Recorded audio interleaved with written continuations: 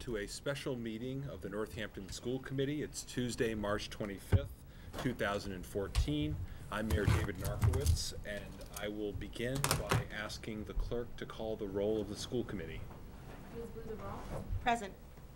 Ms. Pam Hanna. Ms. Ann Hennessy. Present. Mr. Downey Meyer. Present. Ms. Lisa Minnick. Here. Mr. Howard Moore. Here. Ms. Carrie Nakorczyk. Here. Mr. Andrew Shelfo. Here. Mr. Ed Zahowski. Present. And Mayor David Narkewicz. Present. Your Honor, you have a quorum. Excellent, thank you. So the purpose of this evening's meeting is uh, to conduct uh, interviews for the three finalists for Superintendent of Schools. And our first candidate will be uh, joining us in a moment. Over here, the big table. Don't worry that your back is to all those people. Not by choice, but I will. Hello? Good evening. Hi. Good evening. Evening. I was just uh, introducing the, uh, the agenda, and uh, so you arrived just on, t- right on schedule. So the first interview that we'll be conducting this evening is uh, Laurie Casna, who's sitting here before us. Um, Welcome, welcome to Northampton. I'm Mayor David Narkewicz. Um, uh, Perhaps you'd like to introduce yourself and tell us a little bit about your background and educational experiences and why you're interested in becoming the superintendent of our district. Sure, absolutely. Um, I'm both very humbled, um, but also energized to be sitting here tonight. I have been interested in Northampton for quite some time, so I've definitely taken time to uh, familiarize with, with the community, with the school system over the course of this current school year.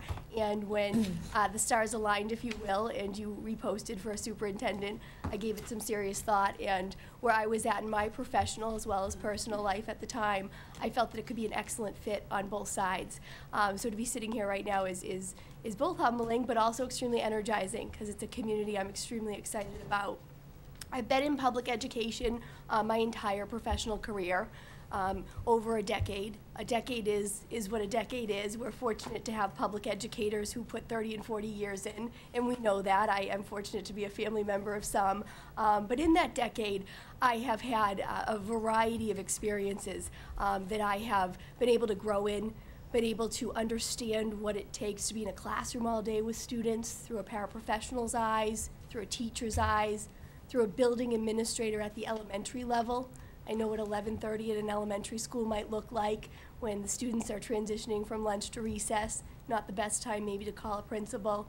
Um, I've been a secondary department head, working very closely with the high school and the middle school administration, knowing what their day-to-day life is like as well. I've been fortunate to grow in a system I've settled in now for about eight years, and I'm currently in the role of a director of personnel and student services. I'm more um, concerned with the day-to-day of, of a role than the title. I do have a lot of involvement in curriculum, budget, operations, things of that nature. So that's really kept my interest in Pembroke. Um, I've able to transition from a special education district-wide administrator into a general education district-wide administrator. So I really, I've, I've been able to gain a, a good perspective of what all of the different constituents within a school system need to feel supported, to get the work done. Um, and I'm really looking now to, to make the next long-term step.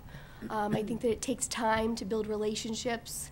Um, you know, they say consistency over time builds trust. You really start to see the work happening in the second and third year, going into the fourth and fifth.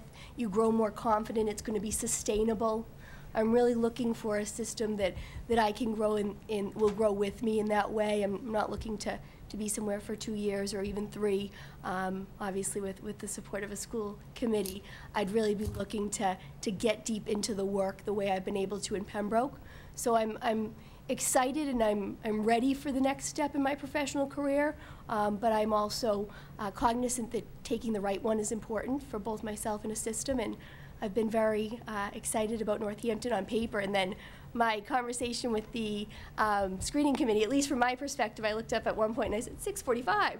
Uh, so you can't ask for more than that in a conversation um, that's, that's an interview. So it, it, it has increasingly interested me as the process has, has gone forward.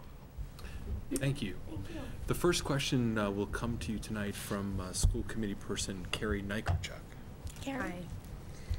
How will you assess the effectiveness of the current curriculum? Describe the process you would use to make changes in curriculum, including how you would oversee implementation of the changes. And what role does assessment play in that process?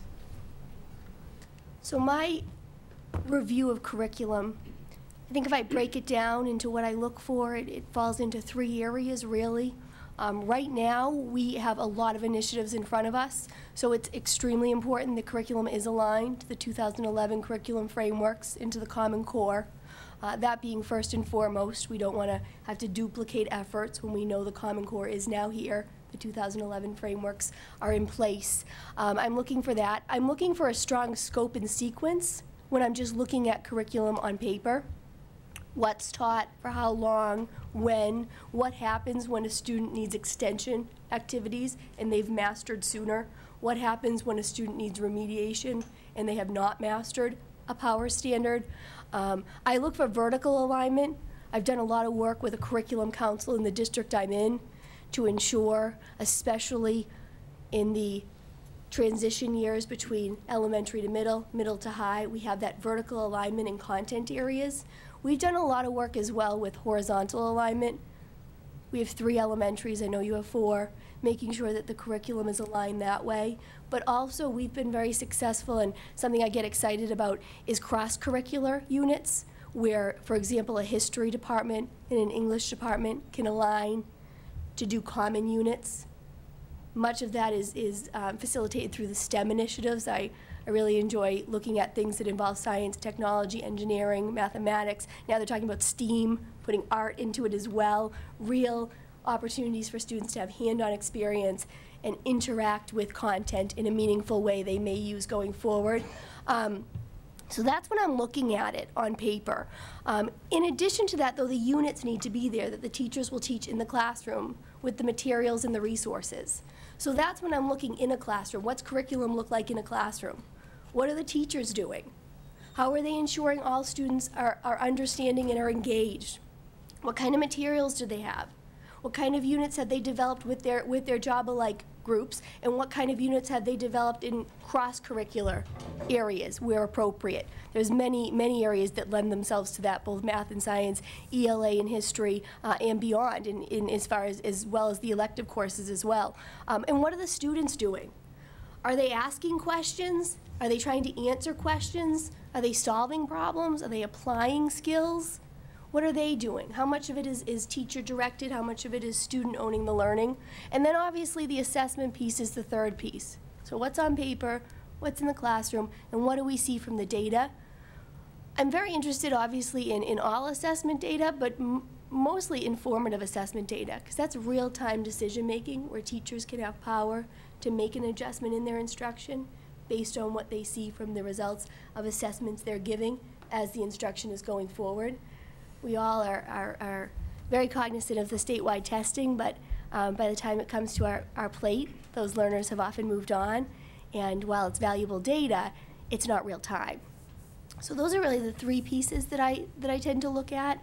Um, and you know, and then when you've looked at all that, the only other thing I would add in, I looked a little bit at your your district plan um, and one of your 2014 goals you think of science, you think of math, you think of ELA, we're really thinking about STEM opportunities and, and now STEAM. Um, but where's the social emotional curriculum as well? Is that, is that outlined? Is that defined? Is it a responsive classroom model? Are you using a social thinking curriculum? Do you have advisory opportunities at the secondary level? Are we reaching the, the whole learner? So those would be the, the main pieces I'd look at. Thank you. The next question will come to you from uh, Ward 7 School Committee member Downey Meyer. Uh, my question is, how should professional development and evaluation of teachers and administrators be connected? Sure. I think with professional development, we often get um, crowded with trainings we have to do, and sometimes it's important to separate out the two. Both have important important places in education. There are certain kinds of trainings. By training, I mean things we're, we're mandated to do, things you have to do to deliver a certain type of instruction. You need to be trained to deliver Orton Gillingham. You need to be trained right now in RETELL in order to get an SEI endorsement for ELL. We know that. We respect that. Teachers go through the training. It's a CAN program, and then they're implementing those things into the classroom. So you need to have a balance of that because there's a lot of that, and teachers have that on their plate. Teacher evaluation, things of that nature. Everything, even as far as the changes in the bullying law. We have to get those trainings rolled out in the beginning of the year. Make sure people have the information they need. Professional development, though, um, to me is not necessarily it's going to give you something that you're going to go back and you're going to be able to say, "Here's the lesson. Now I'm going to now I'm going to do it just like that, as is my neighbor." Professional development is what drives the vision and the goals of the district. Right now, in the district I've been in, we've really in, um, identified our initiatives right now as being embedding technology into the curriculum. So we've been working with Alan November through the Building Learning Communities Conference this past summer in his November Learning Company. And why it's so powerful is Mr. November himself might come out for one day and do a keynote speak. But what we have in place in the district is pioneers who have gotten extensive development around how to, not what to do like trading, but how to embed technology, how to use it to increase learning opportunities, and they're ambassadors throughout the district, and they're building professional learning communities. A lot of the, um, the other focus where I've been has been on differentiated instruction. So you could have Elisa Lisa Dieker come out, who's, who's excellent and we'll talk to, to differentiated instruction in the broad schemes. Things everyone has something they can take away, but they might not all take away the same thing. If everyone goes to Orton Gillingham training, we should all take away how to do Orton Gillingham.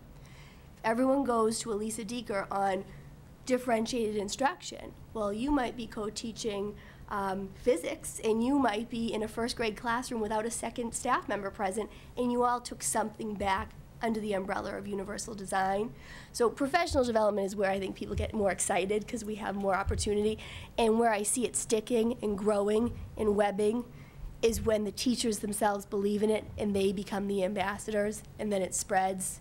And we've had some, some luck with not only professional learning communities in the district, but also within neighboring districts, getting together with different job-alike groups. I know with the Common Core right now, people are, are really looking for opportunities to build units, to identify resources. There's not a lot of perfect matches in the CAN materials available. And those kind of professional learning opportunities are, are the best professional development. The next question will come to you from our Ward Two School Committee member, Andrew Shefflow. Hi. Can you describe for us the ways that you believe technology can be used to enhance academic achievement? And also uh, explain how you've used technology to enhance individual student achievement. So the two parts with enhancing um, student achievement. So I think the, the biggest thing that I've transformed my thinking around is, you know, we were all kind of wrapped up in the one-to-one and, and, you know, what kind of device, and is it an iPad or is it a tablet? And it's easy to go down that path because it's easy to go down that path. You can compare iPads and tablets. You can um, think about how it's going to roll out with the sixth grade class, then the seventh grade class, and then this and that. But we've been fortunate, I think, through working with, with Alan November, amongst other people, um, who've really challenged the thinking around that's not sustainable. A BYOD is sustainable. The one-to-one is, is unlikely to be sustainable, at least, at least in the district I've been in. For us to roll it out equitably, to have everyone have an actual device working all the time, um, didn't get left at home, all of that. We've built an infrastructure of devices that are available and really focused on the wireless access throughout the buildings in the BYOD, which is, is more user-friendly to the student who has a comfort with the device they're using, but it's also more practical to have increased access for all. And with a, a library of, of tablets or iPads, we're able to infuse where needed as well. Um, the, the area that I think I've seen a lot of success in is using technology to assess. Real-time assessment, using things like uh, Socrative to do the clickers, when you can get quick answers, quick formative assessments. Or is everyone with me, or do I need to stop and do a mini lesson? Um, you know, Khan Academy has excellent programs that you can be tracking student progress, especially on more of the rote skills, so they can be getting the interventions in a standardized way. The really impressive next step, though, that I've seen is the use of technology in instruction to flip how students are thinking, whether it's students teaching other students through iCreations, um, whether it's students who have been taught the Google operators and actually could research for you not what the United States opinion is of the American Revolution, but you could ask them to find a British source on, on that. Um, you know, so students who are, who are, you know, the, the, to, to steal a quote, which is, is, uh, is Alan November, is, is one to the world, verse one to one. You know, okay, what are you gonna do with the device? You know, you can train most people to use an iPad as far as turn it on and, and then have, be able to access different things. Well, once you get to, Will from APRA, APRA, what are you gonna do? Once you get to Google, what are you gonna do? What do you want your students to be able to do? Um, so I think that there needs to be a more focus for what teachers are going to do with the instruct, with the technology to increase students' access to the curriculum. Um, as far as for individual interventions with, with students, um, you know, I have a severe special education background as well as a special education, so I've seen everything from students who are, are not communicating and now can, and can communicate between home and school through the creation of videos around their day, through technology that allows it to be a voice for the student. Um, but more so, what we've really seen is the standardization of and the increased access to the interventions that many students in the needs improvement range really do need many of the programs being free as well through things like Tenmark, Success Maker, Khan Academy. You know, certainly there are, are portions of them that do come with a cost more and more. Um, but that kind of rote remediation that students do need to master the higher level concepts, and then it gives the teacher more time in the classroom to be to be focusing on the higher level concepts. That's where we've we've seen the most global intervention success, is especially you got to be at the access, but in the needs improvement range, helping students to fill in some of those gaps, especially in the area of math. Thanks. The next question will come to you from Ward 6 School Committee Member Lisa Minnick. I get to ask you two questions. Oh, great. So the first, these aren't, these are the, the good ones, the fun ones, I think. Um, So would you take this opportunity to describe one of your most rewarding experiences and what it means to you? I guess I should have said rewarding, I can't even read, rewarding accomplishments and what it means to you.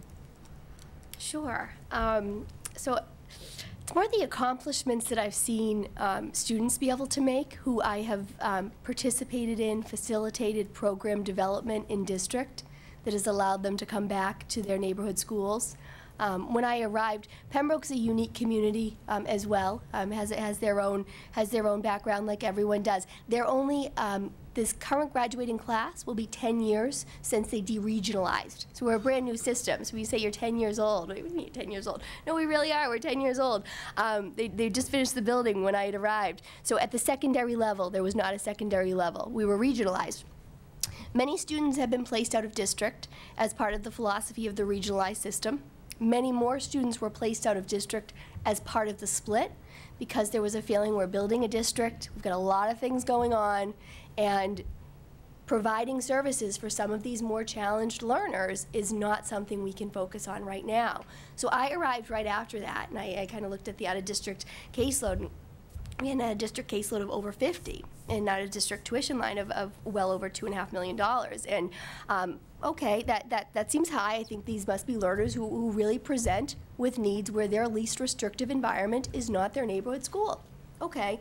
But then I started asking questions and I started kind of getting to know some of the siblings, getting to know some of the families, going out and visiting the students.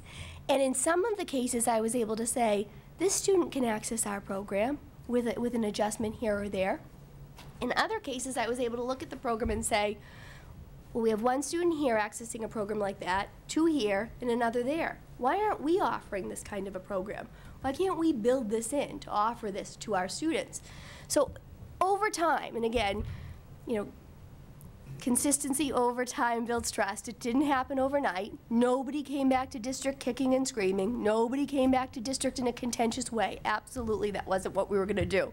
But over time, we were able to reduce our out of district population from 50 till right now we're, we're hovering right under, right around 20. And in addition, reduce the tuition line by, by over a million dollars. But what it did is it provided opportunities for these students to be educated with their siblings, with their peers in their neighborhood schools and us to do it exactly how we wanted to do it. So we didn't bring students back to district where we weren't confident that we were going to build a program that was as good, if not better, than what they had. So some of it was strategic and some of it took time and patience. And then you, you hit you hit road bumps. You hit a bump where you have this great program and excellent educators. Students are making progress, but we're a system of a, a little over 3,300 students your cohort starts to dwindle. You have to think about what all the learners need. It's not fiscally responsible to keep running this program. What do you do? So we were able to partner with neighboring towns and say, rather than the student taking a van 40 minutes away to a private day school, where they maybe can't play on an athletic team, maybe they, they're not able to be in a large high school and they want that, would you be interested in placing your, your student in this neighboring town here in Pembroke in one of our programs? So we're able to build in a tuition-based program to continue to support our programs that a minority of our students needed, even when the cohorts have dwindled over the years. And the, the success really is um, in the students who have accessed those programs. We certainly watch the data close to make sure that with our language-based learners that they're, they're on track with their competency demands. Um, even with our learners who are assessed through the alternate assessment, that they're making the progress, that they're continuing to move forward. And you see that in the hard skills. But the biggest differences I see, and I, I have a, a, an 18 to 22 transition program, and as they prepare to transition out, they intern out of, out of my office at central office, is the soft skills being able to be in a large environment uh, with, a, with a large crowd of people, knowing what um, the, the copy machine is, knowing how to go into a cafeteria and ask somebody for help, knowing how to interact with your peers, uh, knowing how to stop somebody if you need directions, the soft skills. And I have a young lady right now interning with me who returned to district when she was in her teens um, from a, a collaborative program.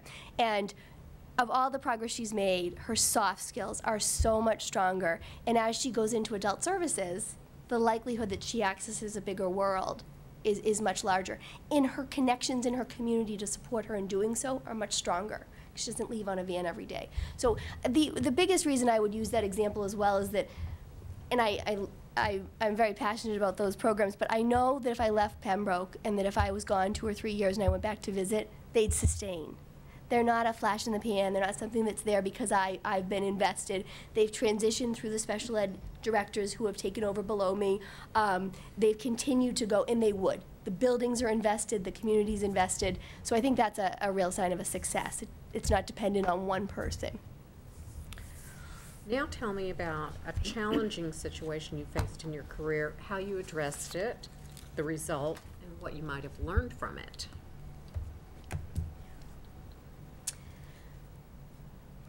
So I'm thinking that, um, and I don't, I don't even uh, know that I was as cognizant of the challenge that it presented at the time as, as I am now, which is probably a good thing because I kept saying I work with a superintendent um, who's very experienced, very calm in the role, very comfortable with delegation, which is, is great because it, it gives you the opportunity to have the full breadth of the, the experience in the role and, in a, and not need to necessarily make a step until you're ready, because I, lo- I love working there.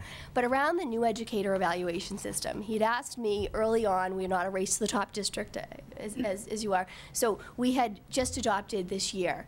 And he'd asked me early on, uh, last year, to take it on completely. I want you to handle all of this. I want you to work with, with the union to negotiate. I want you to do the trainings. And was really more concerned with the rollout than typical. I'm still doing whatever I want, you know, doing my thing, and I'm, but a lot of questions, a lot of how are we going to present this, how are we going to present that, and we were very um, tiered and step by step. And we were we were very collaborative. We brought the union in very early. We did all of the trainings ourselves in district the year before. We trained all of the administrative team as well as our union leadership together. We rolled things out piece by piece. We worked with the union on one thing at a time and reached agreement. It was actually a, a really positive process. We chose to adapt rather than just adopt, so we, we adapted the rubric. We felt like we were doing good work, and everything was going step by step. Partially at times exhausting because it was so much work that we were doing. All the materials, we had them made, they were ready for people. Um, but it wasn't until we were underway this year and I've, I've had communications with other districts that I realized what exactly he was aware of. How something like that can go so incredibly bad. That people become so incredibly overwhelmed by the change that they're not able to, to focus on the, the positives. And it really we did not have unannounced observations in our district. And it's been a pretty seamless change for us. People don't feel it's a gotcha. People do feel they're having good conversations. Um, people do feel that their goals are meaningful. They do feel that the rubric makes sense, that they understand what they're doing, that evaluators took the time to get calibrated. And I, I actually, I should have predicted what he was thinking because I have family members in education, and uh, my, my mother is probably close enough to retirement. And when this first started rolling out in her district, she started saying, I, I don't know if I could do this. I, maybe I just have to retire. I'm going, what are you talking about? What do you mean? You get all worried about this, this 40 minute observation. You're a great teacher. Now someone will just come in, do the observation, you go about your life, and it doesn't disrupt your instruction. But it was different. It was a change. It was not, it was a fear. And we, we really broke that down, and we've had such a positive rollout. And now, as we continue, we, we, we problem solve as we go, get on the phone with the union in advance. I have a great relationship with, with the union representation in my district. Um, I realized that it would have distracted from what we were trying to do. And it would have been, people wouldn't have been able to see the forest through the trees. It would have been too worried about how many unannounced, how long someone's in there, and the, the step-by-step collaborative approach and the predicting before we rolled it out of the concerns that someone might have in trying to be as preventative as possible. You know, I, I didn't realize what I was doing at the time, and I'm, I'm now looking back going, I can understand why, because I've, I've had some conversations with neighboring districts where it's been a lot of, a lot of bumps and a lot of stops, and uh, we, we haven't had that, so we've been pretty fortunate. The next question will come to you from Ward 3 School Committee member Howard Moore. Hello? Hello. Um, This is the budget question. Budget. Um, So can you describe how you, what your process is for, for prior, making priorities within a budget? And um, use some examples of difficult decisions you've made in the budget process? Sure. Um, you know, we, we definitely have, have our challenges, but I, I think what we're most proud of, and um, I anticipate most districts are, you don't see it in the classroom. You don't see it in the classroom that when you look at the per pupil expenditure per districts, we're, we're nowhere near what it looks like we should be in the classroom, what teachers are doing, because we really preserve the classroom. That what's happening in the classroom is the most important thing. That's the core of the, it's why we're all here. It's the core where the instruction happens. It's where students are learning. Um, you know, teacher-student ratios being reasonable uh, in all areas. Um, making sure that the students and the teachers have what they need to do to do the work. Um, so that's really we kind of take that that approach, starting far out and moving closer into the core and protecting the core as much as, as possible. Um, that being said, there's times that that is, is quite a challenge and that there are difficult decisions that have to be made. Um, this would probably be one of the closer times that we've had this year to really not being able to, to meet the gap between what the state funding the local budget was and, and what our, our rollover gap was. Um, but what we really looked at was we had a bubble moving up from eighth to ninth. So trying to look at efficiencies. Are we doing things in the most efficient way to service the students and give them the, the programming that they require um, in, in, in the most effective way possible with what we have available? And what we looked at is our schedule at the 9 through 12 level was not efficient.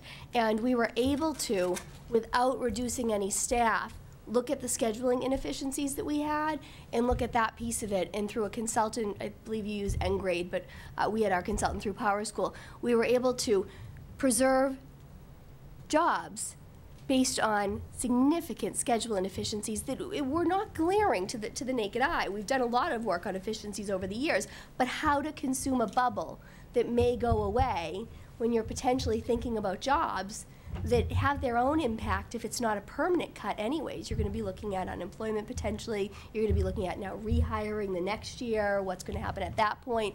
Um, so whenever there's a, a real a real problem, starting from the outside, having a team approach.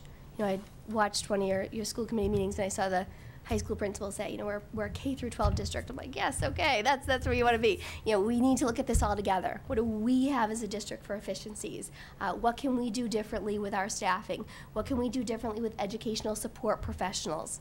How are we managing substitutes? Um, how are we managing professional development? How are we managing special education programming? One of the other areas that we've had luck in um, revenue generating is through professional development.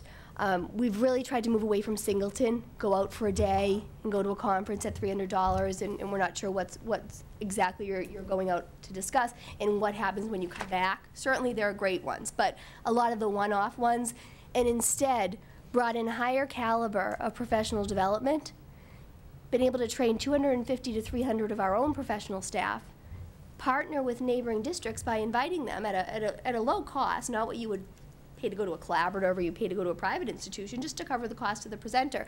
And we've been able to cover our own presenter and generate the revenue of, of in most cases, seven to ten thousand dollars that then we're able to put back into our PD line. So I think of it as a, a seven to ten thousand dollar benefit, increasing our PD. But I was talking with our director of finance and operations, and she said, no, think about the other way. Those 250 to 300 staff members need professional development. Them times what we would have been paying. That's been a benefit to us. Um, so overall budget efficiencies, you know, where are your grants being spended? Um, specific individual things, you know, you have to be looking at, does this make sense? And if it doesn't, is there an alternate route? The tuition line for us with the in-district tuitioning of kids to support programs we couldn't sustain on our own has made sense um, at the pre-K through 12 level. Um, professional development, higher caliber, better quality that we couldn't necessarily sustain on our own, but partnering with other neighboring towns has made sense. Making good choices around materials and resources, especially right now with the Common Core and, and not being as confident maybe as a lot of us would like to be that the canned materials out there are, are where they need to be to make, make big investments right this minute. Um, things like BYOD versus one-to-one, where it's a global problem solve versus a trying to plug a hole kind of situation. Um, so those are some, some examples that I've, I've uh, found to be successful where I've been. The next question comes to you from our Ward 4 School Committee representative and the vice chair of the school committee, Ed Zahowski. Nice to see you again. to you. My question's on planning. If you were to be selected as superintendent of the Northampton Public Schools, what would you, as the educational leader of the community, see as your role in defining a vision for educational excellence for our district? I absolutely think um, and, and have experience that the superintendent, the administrative team are educational leaders in a district. Um, they're continuous learners, they're continuous educators. They drive the, the good to great standard. Um, I would see my role as moving everyone forward towards a common goal, being respectful and understanding of the norms and the, the successes that have been had here, the uniqueness that the community brings, um, the interests that the community has that are unique to Northampton, to their students, to their community. So I would think of it as part of an entry plan, if you will, in many ways.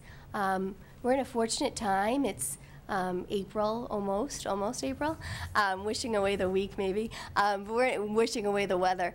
Uh, we're in a fortunate time. It's, it's you know, you're going to make a decision sometime in early, early April. I'd see a pre-entry plan. I wouldn't see a reason over the summer of trying to learn names faces, uh, uh, places, how to get from one building to the next. Um, that's an opportunity in a pre-entry plan. I understand that Dr. Nash is here, and you're obviously respectful of that, and I have a, a role where I am. But really taking the time outside the day-to-day problem solving. Things get busy, and now you're in the context of solving a problem before you get to know a person, um, get to know what their building is like, what the culture what their learners are like, their parents, what they've done, what they're proud of, what they want to focus on. Um, being able to do that a little bit individually as well with school committee, with the administrative team in the spring. Um, doing your, your homework might me, being me, um, understanding what, what has been done, what your budget obviously is set going into FY15, knowing all of those pieces. When you get here July 1, that's the entry plan time getting ready for the start date on September 2nd, starting to do the day-to-day work. I'm fortunate that I feel comfortable starting on, on July 1 and, and doing the nuts and bolts and also assisting administrative um, staff at the building levels to do their nuts and bolts to, to get done what needs to be done over the course of the summer. Hopefully you have some professional learning communities. I did see that you have the, uh, the 213 grant, I believe, at the number sometimes, uh, but it's a grant I was looking at that you would, you would, um, achieved with a couple of neighboring districts. And I was looking, saying, Who, who, who's got this grant? I was thinking of it for a STEM initiative to tie to Educator Eval, and I saw Northampton was there. So I'm thinking that might be supporting some teacher work this summer getting to meet with some of those groups. So really starting on the nuts and bolts administrative work this summer.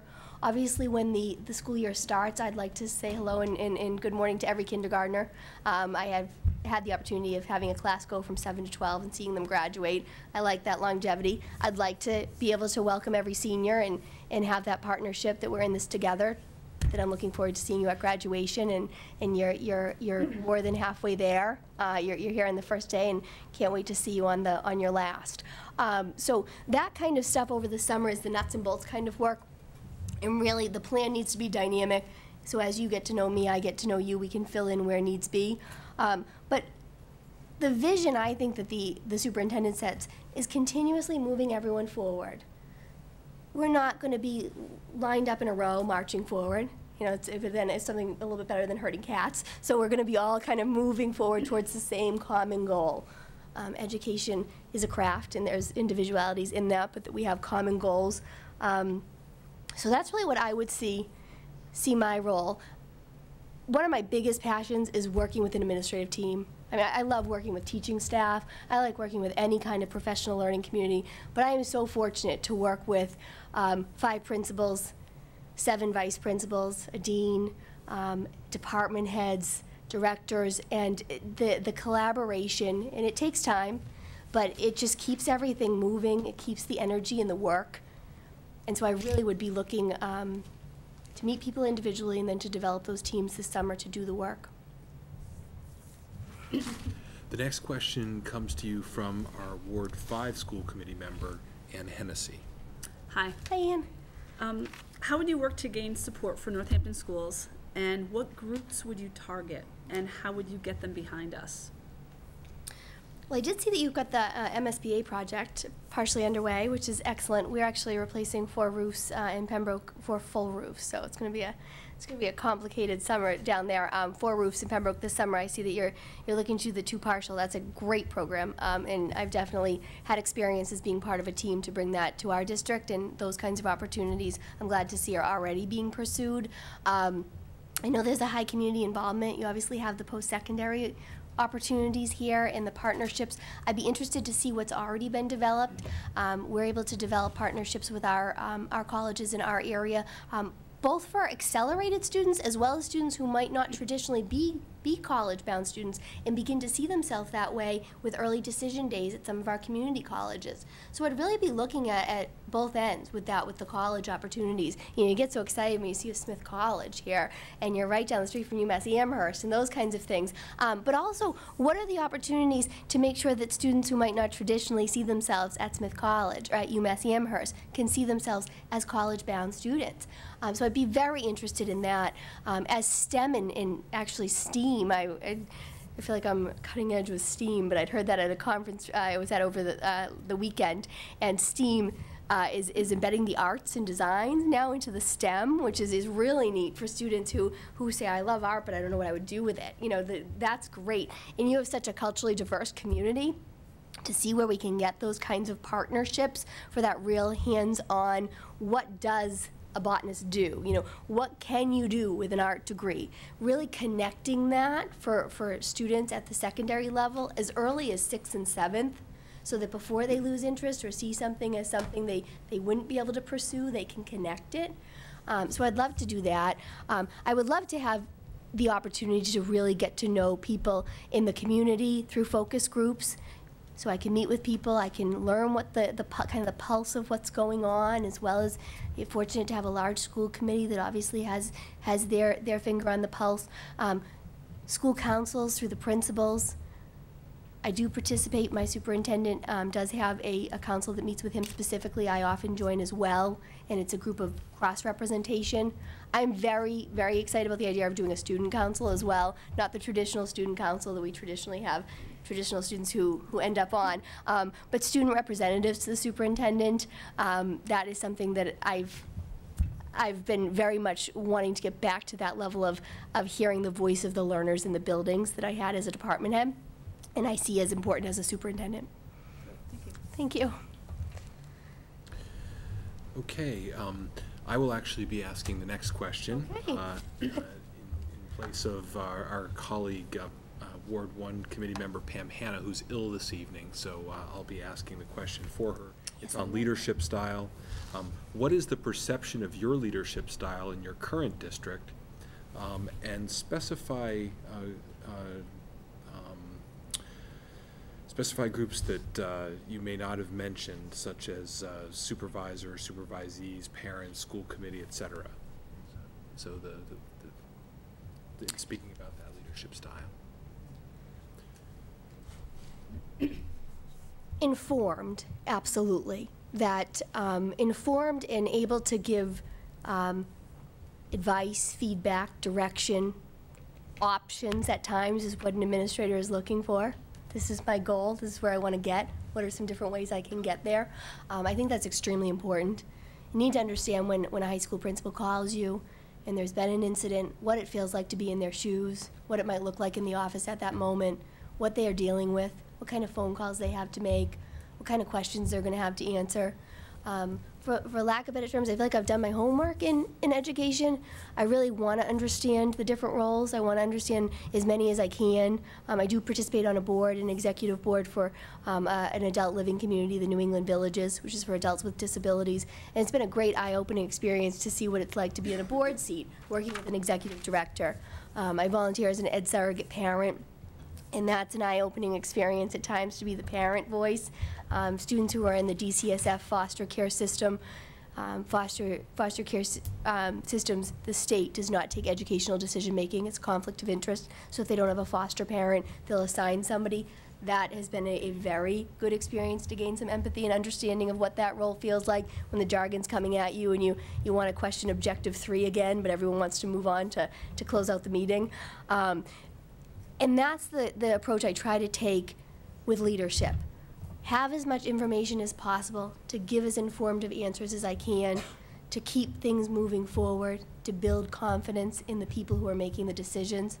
If I have to say, and it's more often at a parent level that I might have to say, I got a call this afternoon about a, a concern from a building, and I did say, have you spoken to the principal or the vice principal?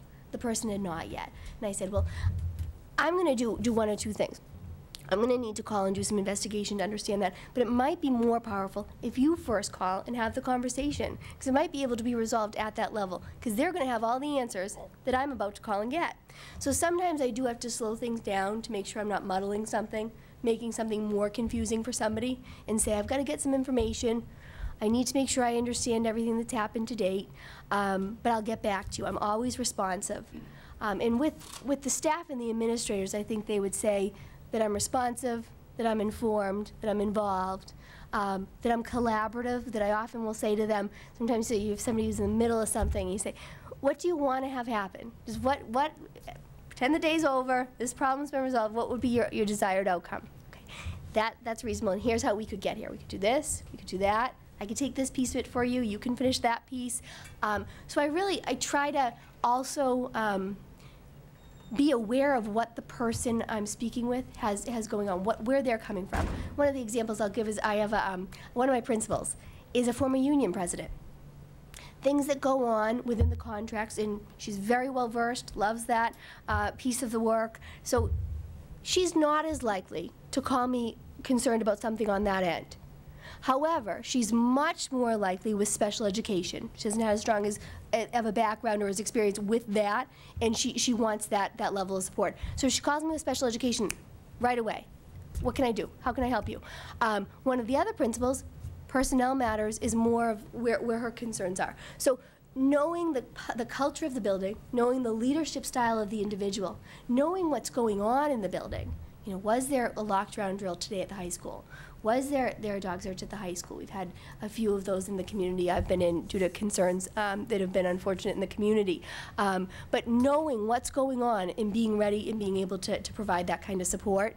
So I think that the, the qualities, if you will, they would, they would say, you know, I listen, I collaborate, I'm informed, so I can provide information to keep things moving.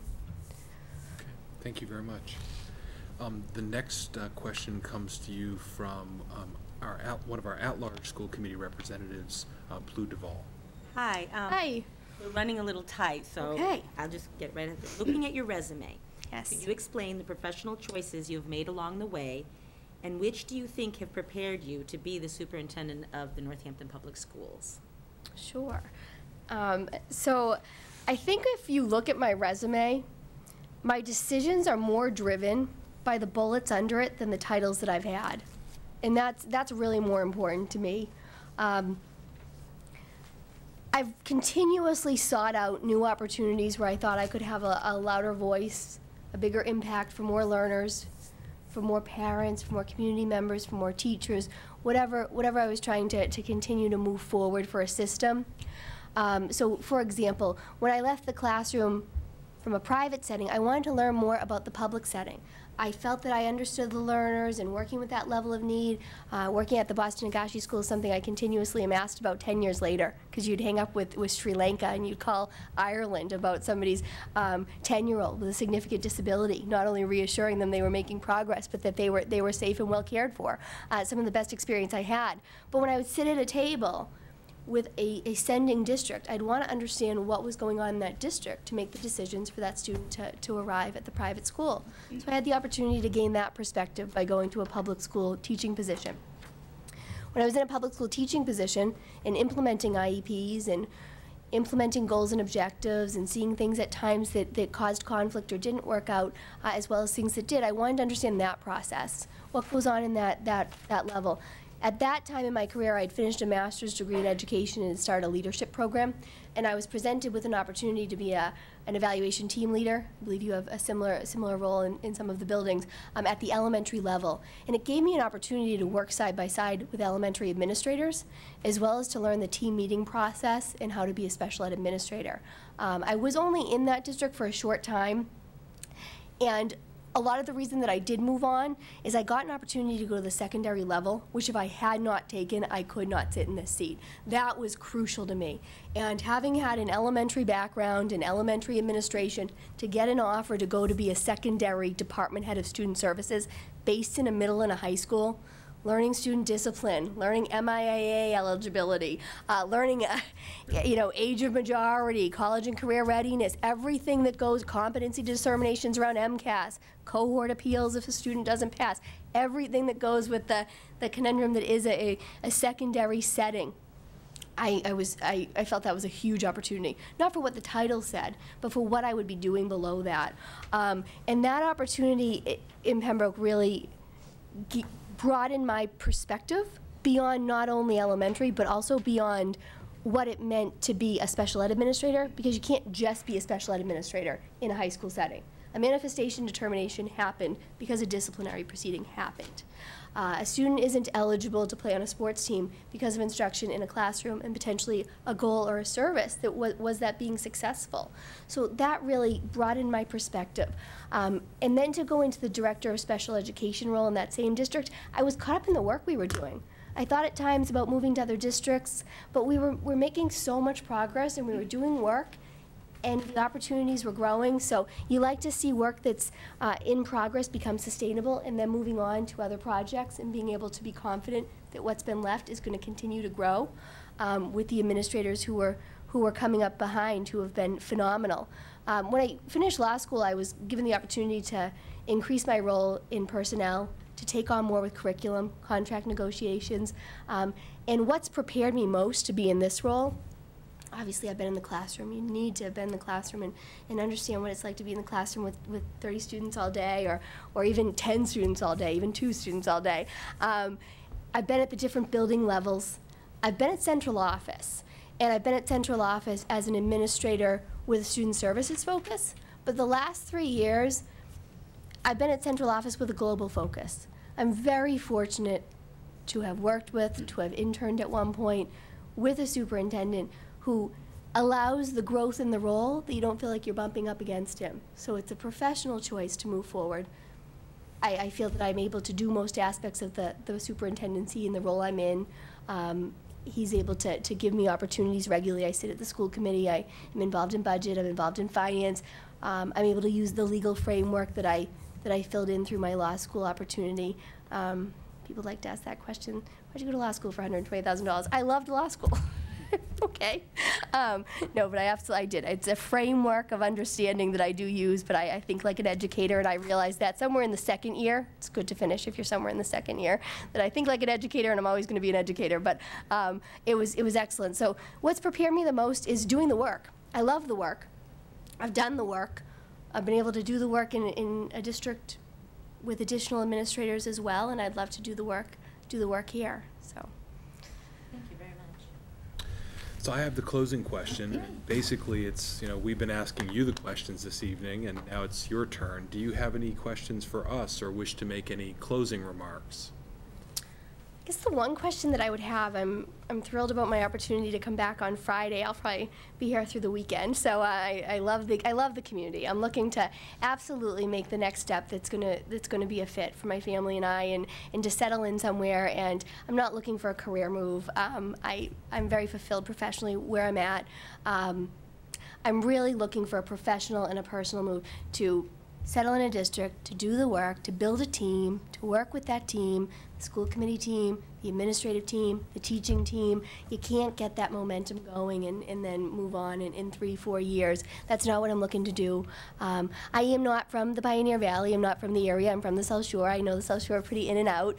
Um, but I'm, I'm looking, I want to be here. It's a choice to be here. It's not for, for uh, circumstance that I just happened to be here and it just happened to fall in my, my lap. I've done my homework, I've done my research. I wouldn't put you in the position uh, or myself if I didn't feel like it was an excellent fit. Um, but the one question I have, knowing that I'm going to be back here on Friday, is that if, if, if you all were able to, to come to my, my district in Pembroke, um, I would say, oh, when you go to the high school, look for this. You're, you're going to like to see this every district has things they're proud of that, that kind of set them apart, that, that they like to, to kind of highlight. As I'm there on Friday, I see it's a, a quick tour and agenda.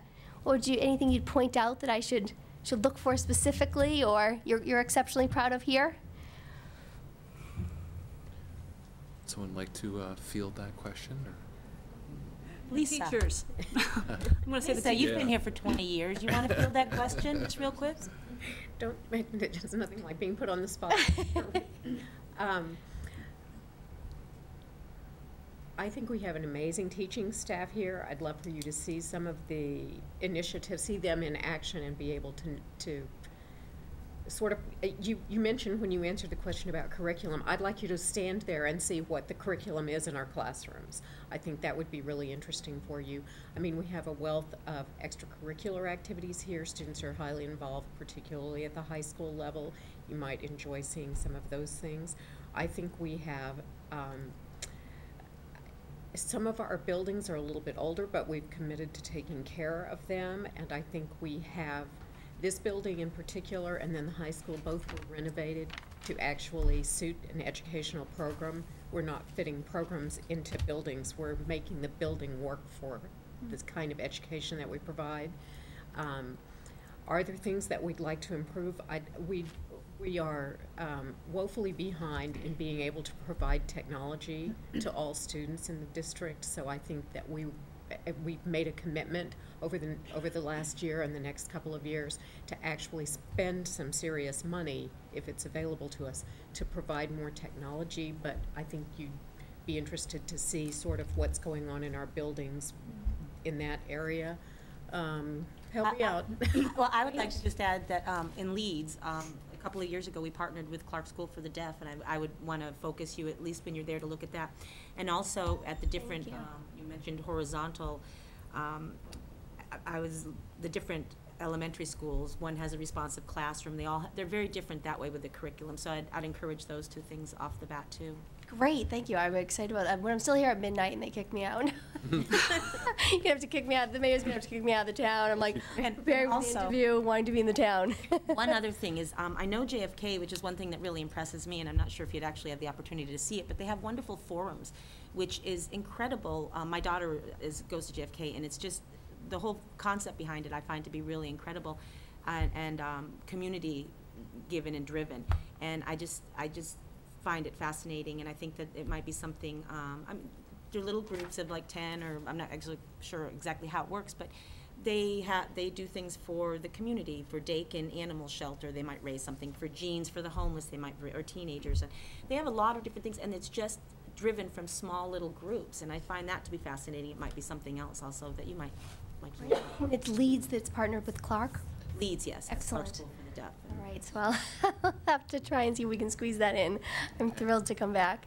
Well, thank you very much. We appreciate your Thank you. appearing this evening, and, uh, and again, uh, enjoy the time that you're here in Northampton this Friday. I al- oh, I always enjoy my time in Northampton. I absolutely love it here. Um, I will leave just a, a one pager. I know you're going to get a ton of information. Hopefully, you've seen my, my full packet and the things I shared with the screening committee. Uh, just a one pager of things that we kind of talked about tonight. Hopefully, they'll be helpful, and um, looking forward to seeing as many of you as possible on Friday. Thank you. Thank you so much. We're going to actually take a three-minute recess. Uh, So we will, the committee will take a three-minute recess while we uh, reset for the next interview, uh, which will start at 7 o'clock. Uh, Welcome back to the March 25th, 2014 special meeting of the Northampton School Committee. Uh, We are in the process of interviewing finalists for Superintendent of Schools, and uh, we are pleased to welcome our uh, second candidate, um, Mr. John Provost. Uh, Welcome, welcome. And uh, I have the first question, so um, perhaps you'd like to take some time to just introduce yourself and tell us a little bit about your background and educational experience and why you're interested in becoming the superintendent of our district. Sure. Thank you very much. Uh, I'd like to begin by thanking the screening committee for bringing me forward as a finalist. I thought we had a good conversation two weeks ago, and as I reflected on my notes from that discussion, I think the overarching theme that came out of it was um, a desire to express some kind of, or- or to to create some kind of structures or processes that would um, help the district move forward, either through um, changes of leadership or um, just creating some standard operating practices. We talked about setting priorities for professional development.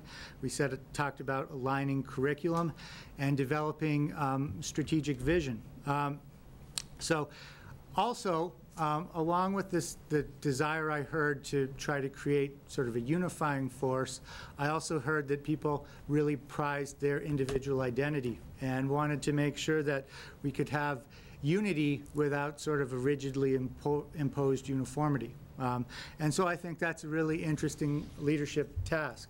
Um, It's something that's been part of my work um, in just about every district I've been in. I think it's a very um, typical kind of a challenge. I've been in um, urban, suburban, and rural districts. I've been in districts that are much larger and much smaller. And I think regardless of the size, um, those are very typical challenges. And I'm, uh, I'm hoping tonight we can explore those a little bit more. And I'm also hoping that I can get some feedback if you think I maybe misheard um, what you're looking for.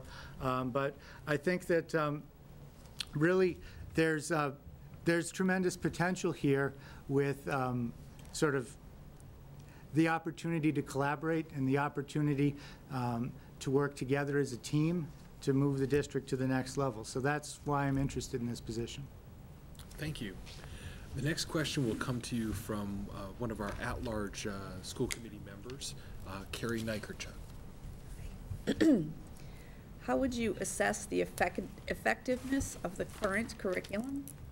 Describe the process you would use to make changes in curriculum, including how you would oversee implementation of the changes. And further, what role does assessment play in that process?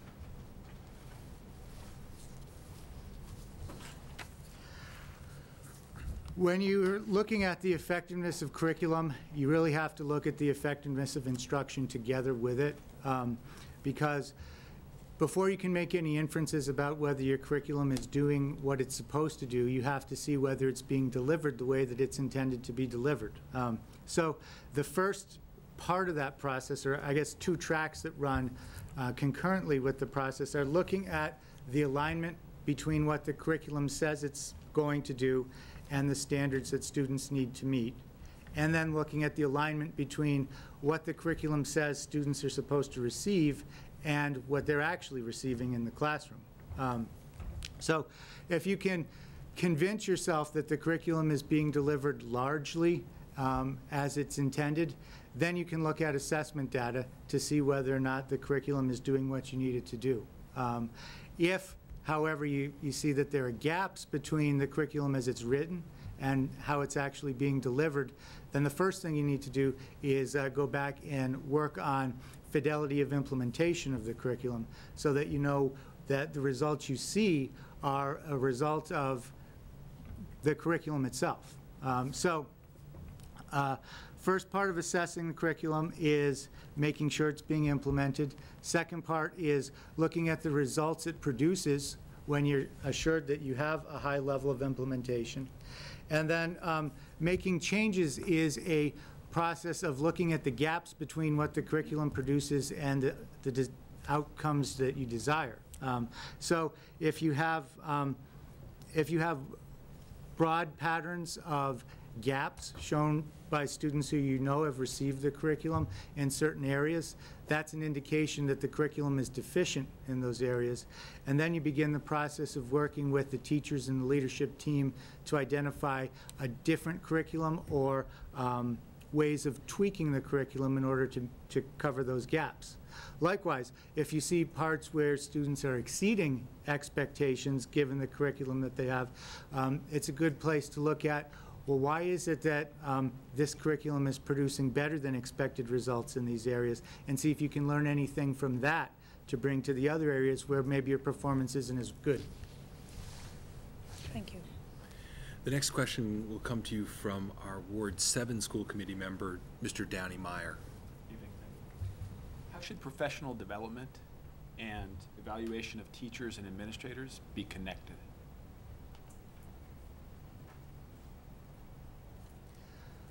Well, in the Massachusetts model, the first part of the process is setting a professional learning plan.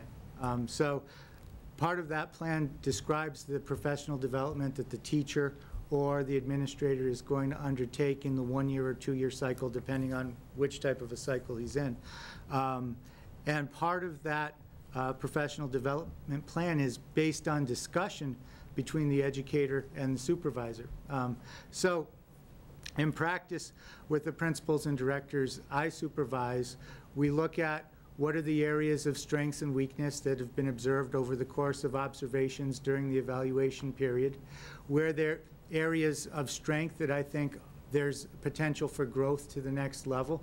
I might um, ask the, the principal or um, director to think about some types of professional development ex- experiences that will allow them to develop that expertise to the next level, or where there are some areas of deficiency, um, I would ask them to work together with me to identify some experiences that would help them shore up those deficiencies. And that's essentially the same practice that um, the principals and directors use with the teachers that they supervise. Thank you. You're welcome. The next question comes to you from the Ward 2 uh, School Committee member, Mr. Andrew Shefflow, and it's about technology. Can you describe for us the ways that you believe technology can be used to enhance academic achievement? And also, how have you used technology to enhance individual student achievement? I think the most important thing to remember about technology is it's about the instruction, it's not about the tools. Um, And I think um, a mistake that educators sometimes make is going into buying a program or going into buying a package without thinking about how it necessarily connects to the curriculum that the district's trying to deliver, or um, to the specific skills and deficits that the students in their individual classes present. Um, uh, Having said all that, I think the, the great promise of technology is it allows us to individualize and personalize instruction in ways that um, were extremely difficult to do um, even 10 or 15 years ago. Um, We know that it's highly motivating and highly effective for kids to get immediate feedback on their performance, and uh, technology is able to provide that. We know that it's, um, we know that all learners do not proceed at the same pace, and that some students are ready for um, more challenges, while others still require um, further trials to mastery. And technology is, is able to provide um, a classroom of students um, different, different types of experiences within that same, within that same classroom, each targeted to the individual learner's needs. Um, I think it, it makes, uh, it makes learning more engaging. I, to give you, um, to just address the second part of uh, your question, one of the things that we've done in North Brookfield is um, operated an extended day program through our Title I program, which we're able to do as a school-wide program because we have 42% free and reduced lunch in the elementary school. So uh, we have students in grades three through six um, arrive at the same time high schoolers do, go into our elementary school, and they begin um, one session of Khan Academy, which, which is essentially a math program that does all the things that I just described. And then they have their choice of five other activities that they do for the second part of their extended day. Um, So I think, I think that, that, the promise of technology is finally starting to be realized. I think my whole career, we were talking about um, what technology was going to do for education, and it never really kind of came to be. But uh, I'm, I'm hopeful for it because um, when I see what's happening with things like Khan and I see what's happening with things like MobyMax to do adaptive learning with students, um, it seems like we're right at the point that I kind of always hoped we would be. The next question will come to you from the Ward Six School Committee member, uh, Mrs. Lisa Minnick. Would you please take this opportunity to describe one of your most rewarding accomplishments and what it means to you? I'll talk about the first diploma I awarded. Um, This was back when I was the special education director in Agawam.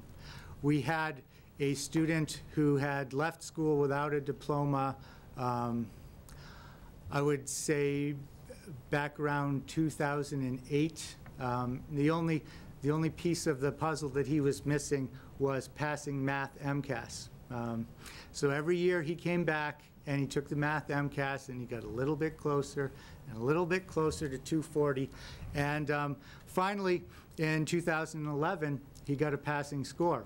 And so we had a ceremony arranged for him and the, um, for for whatever reason, the superintendent wasn't able to make it. And I had already been appointed as superintendent in North Brookfield at the time.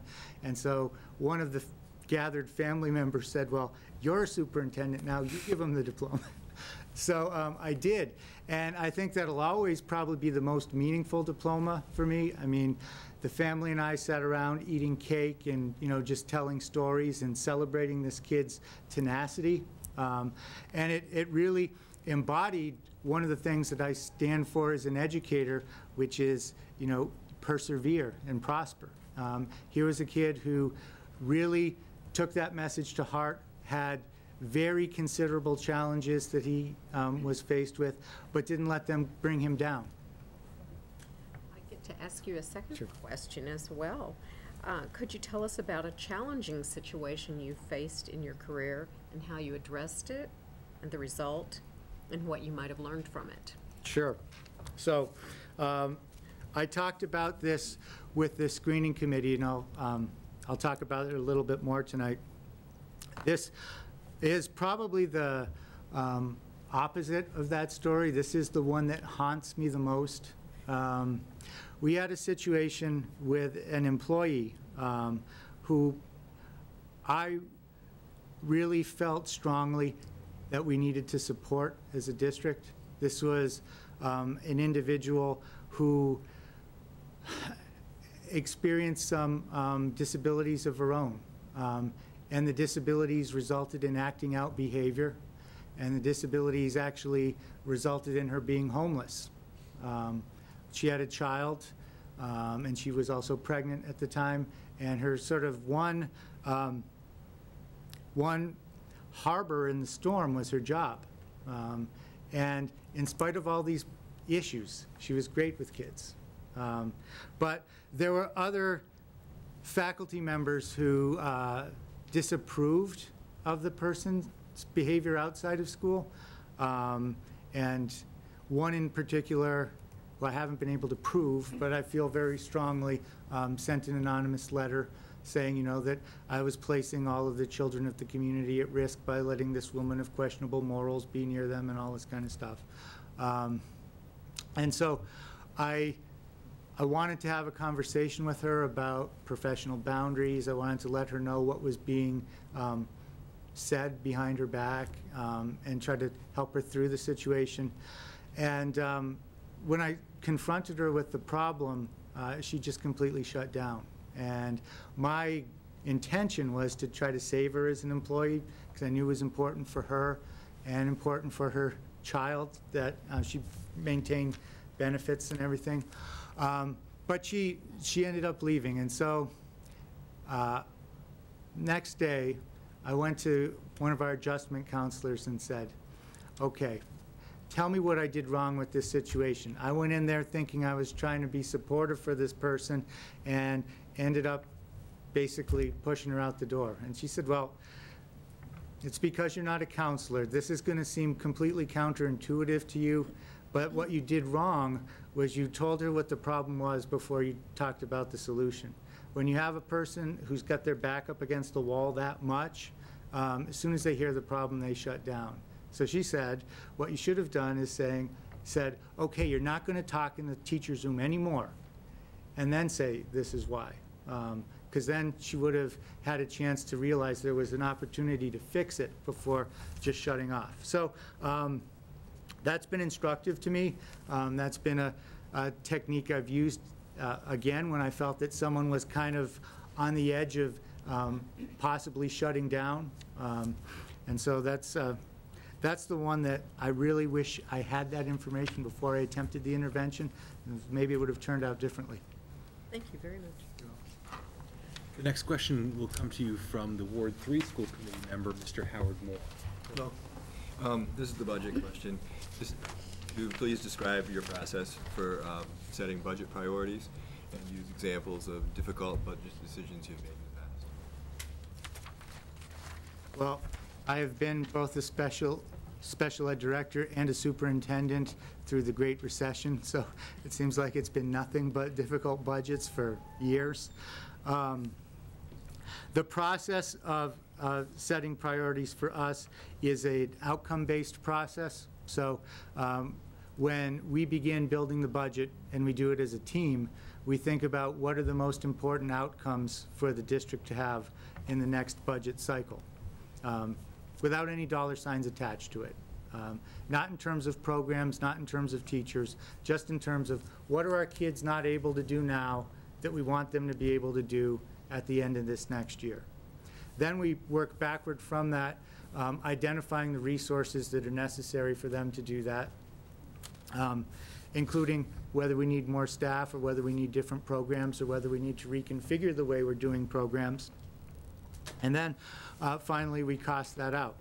So um, we typically have a rank-ordered list of items that we want to achieve in the next budget process based on uh, a- the criteria of what would be most harmful not to do. Um, So those, those are our highest priorities. And then, um, working with that, we come forward with a first view budget that kind of represents what we believe to be our um, high, most important items from that list and what the cost would be. Um, We usually do that in North Brookfield in December, because that's, that's a time frame that works for the FinCom. Um, It's not really a time frame that works for the district, but it's important to collaborate. And so, you know, my agreement with FinCom has been, if you need this information in December, I can get it to you, but it's not going to be as accurate as it will be later in the spring, so we'll work on continuing to revise it. So um, after presenting the first view budget in December, we get some feedback from the school committee and feedback from other um, boards, and then we go through making revisions. Um, Typically, the revisions mean trimming a little bit more and, you know, working your, your way up the list. Um, But that's, that's essentially the, the way that it works. The one thing that um, I would just add to it is, it's done as a team from the first budget meeting in November all the way to the last budget meeting that we typically do in June. Um, And it's, you know, all programs, all departments, everything is on the table um, in order to try to achieve the goals we're after. The next question will come to you from the Ward Four School Committee member and our Vice Chair, Mr. Ed Zahowski. Uh, My question has to do with planning. If you were selected to be superintendent of the Northampton Public Schools, what would you, as the educational leader of the community, see as your role in defining a vision for educational excellence for our district?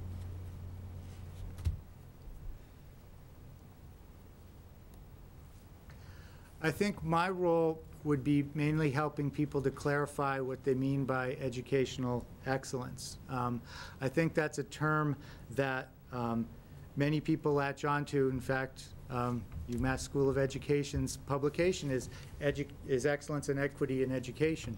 But when you ask people, well, what does excellence mean? What does it look like? For whom? Um, then you realize there's a real diversity of opinion on what excellence is. So um, I think the superintendent's role is not to define excellence for the community, but to help the community define it for itself and to try to um, uh, create uh, a vision that sort of represents what's sort of a majority view of the greatest good for the greatest number. Um, and there's a, a process Which I know you're um, familiar with, uh, that superintendents typically go through in the first um, six to eight months of any type of an administration, of doing investigation, meeting with people, and developing entry findings um, to sort of lead the discussion. If, um, if it was the committee's wish for me to make educational excellence the focus of the entry plan, um, then that would be one thing that I would start with. But I would also say that I'd be open to other things from the field. Um, Sometimes, um, sometimes when you start with an idea like excellence, you realize that other people might have other concerns. And then I might have to come back to the committee and say, okay, excellence is still a priority, but we have, you know, parents and other community members who maybe feel there are other issues. Maybe it's bullying, maybe it's whatever, um, that's of equal concern with excellence, and that we need to um, maybe widen our vision to accommodate. Okay, um, the next question uh, comes to you from the Ward Five School Committee member, Ann Hennessy. Hi. How would you work to gain support for the Northampton Public Schools? What groups would you target and how would you get them behind us?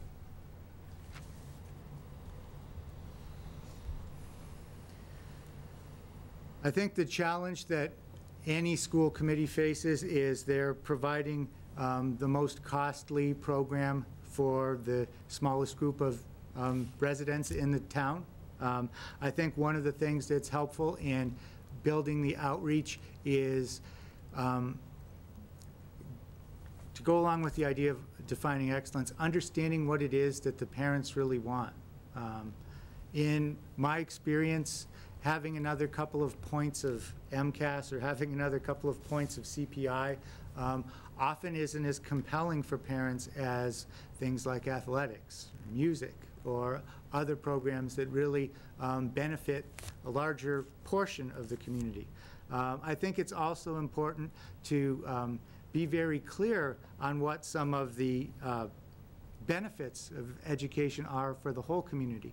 You know, there's this term called externalizing that um, economists use all the time, and it's typically used when you're externalizing the cost of something. So, you know, you have this oil that you're burning in your car and it costs 350 a gallon, but it really costs $6 because you're destroying the environment and all this other stuff. I think in education, it kind of works backwards. I think oftentimes people are very aware of the costs, but they kind of externalize the benefits. I mean, if you think of just the earning potential that we're providing for each graduate who we send out with a diploma and how that recycles back through the community in taxes, that alone offsets the cost of education, but that's something that often doesn't make it into the, the public discussion. So I think um, really trying to make people mindful of the, the benefit they derive from education, even if they don't have a child or a grandchild who's currently enrolled in the schools. Um, and I think it's about building relationships um, because many of the people who you're going to um, rely on when it really comes down to it are um, people who are sitting not necessarily on the school committee, but in other parts of city government. Um, and if they, if you can develop a relationship where they feel like you're a straight shooter and that you're advocating for things that are really um, important for the kids who are in your schools, then I think um, they can help you get that message out. And I think they can um, take some of the, you know, carry some of the water so that it's not always on the school committee. I'll be asking the next uh, question, uh, and it concerns leadership style. What would you say is the perception of your leadership style in your current district? Uh, And again, both from uh, the people you supervise, but also uh, parents, school committee members, et cetera. I think that um, the teachers and um, other administrative staff in the district would characterize my leadership style as collaborative. Um, I come from, I come from the special ed tradition where everything we do, we do as teams. Um, And the essence of that is that any individual can make huge mistakes by him or herself. But as a team, there's probably going to be a countervailing opinion out there somewhere that'll save you from disaster. Uh, So I, I do just about um, everything except for emergency decisions in collaboration with other teachers and administrators. And um, I- I'm sure they'd tell you that. When, it, uh, when parents uh, talk about my leadership style, I think the thing that they notice most is drop off in the morning. Um, One of the things that they comment to me all the time is being out in front of the different schools, greeting kids as they come in to the building, as how they notice that I care about their kids. Um, And so I think for them, what, what they would say is personal connections to kids. Thank you. The next question will come from uh, one of our other at-large school committee members, Ms. Blue Duvall. Hi. Uh, Looking at your resume, could you explain the professional choices that you've made along the way? And which do you think have prepared you to be the superintendent of the Northampton Public Schools?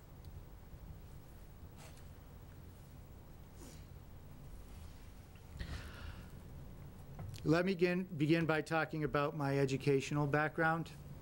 Um, The, the, both the master's degree and the doctoral degree in educational policy, research, and administration um, were both administrative track and research-based. Um, The program that I went through for my doctoral program was actually uh, a program that I was supported on by the federal government, and it was through a grant called Linkages. And the idea behind Linkages was that part of the problem in education is that you had people who had come in either trained in a professional, uh, in a, in a principal program, or you had people who were coming into administration trained in a special ed director program, and they didn't talk the same language, and they fought all the time. In fact, that even happened at the higher ed level. Um, I had two mailboxes during that time because I had to get my special ed mail in one mailbox and my regular ed mail in another mailbox. Um, But the idea of the program was that the leaders of the future needed to be trained in both traditions. So the idea was that you had to be trained and certified both as a principal and as a special education director, and then you could be truly representative of all the students in the district. Um, So that, um, that I think has really been a a guiding, a guiding vision for me. I've worked in both regular ed and special ed and haven't really felt much of a difference either place because I'm starting from the philosophy of everybody in the building is responsible for all the kids in the building. Um, From there, I went to Holyoke I worked as um, a team leader and a supervisor for a short period of time, and then was named the uh, Director of Special Education for Holyoke. Um, That, that tenure there um, was great, but um, changed when we had a, a change in superintendent. And this is what really started leading me down the superintendent path, because we had a very highly effective team. We had um, people who were really committed to kids and committed to each other as a group, um, and had a, had a certain philosophy. When there was a change of leadership, um, the, the new superintendent uh, instituted a much more individualistic approach. So it was, you know, principals against other principals. It was, you know, people going into back rooms to decide who was going to get which kid and all this kind of stuff. Um, and within a year, most of that leadership team was gone. Not because anybody had a target on their back or anything like that, but just because nobody felt they could thrive in that environment. And so that's, um, that's what both led me out of Holyoke and led me um, to understand how important the superintendency is. I think Agawam, um, my experience in Agawam certainly helped me because I saw the opposite side of it. I saw a superintendent who was much more like the superintendent we had at the beginning. Um, in fact, she's now the president of the Massachusetts Association of School Superintendents, so others have recognized her skills as well. Um, and she's the one who really helped to develop me um, to the point where I was ready for the superintendency, and then she helped me to um, move to, to North Brookfield and has, was also kind enough to write a letter for this packet. So those, that's kind of the path that brings me here. Thank you very much. Welcome. So I have the, the sort of the closing question, which is really um, turning it to you. We- We've been asking you questions this evening, and so we wonder, do you have any questions for us? And/or do you have any closing remarks you'd like to make? I do have three questions, um, and they're not targeted at any specific individual. I'd be happy to have multiple people weigh in or just have some discussion.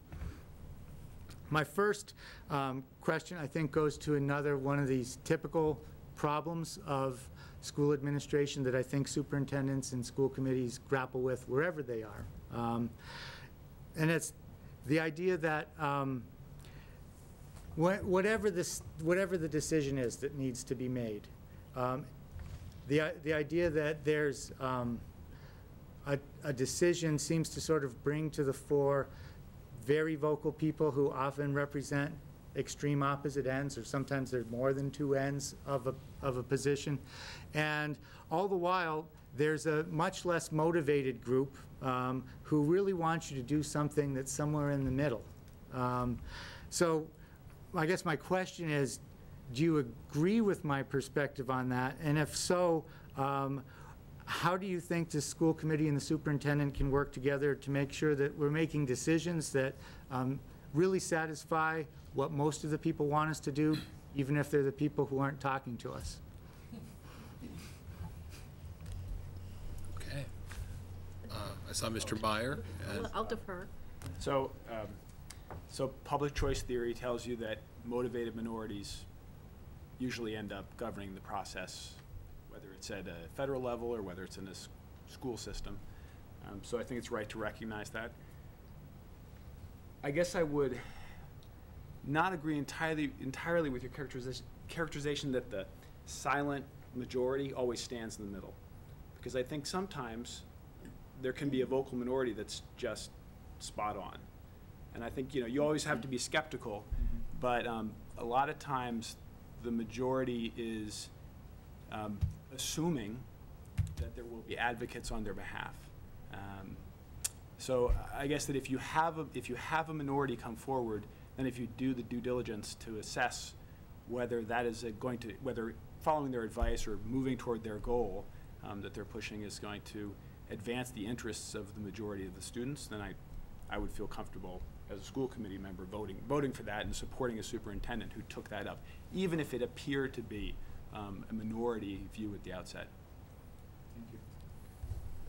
I would, I think, had a similar kind of thought too, is I think there's sort of two ways in which you, the merits of an idea get measured. One is sort of the political one, a question of, you know, who supports it, you know, whether, whether in terms of their position, you know, who they are, or, or how vocal or energized they are about supporting it.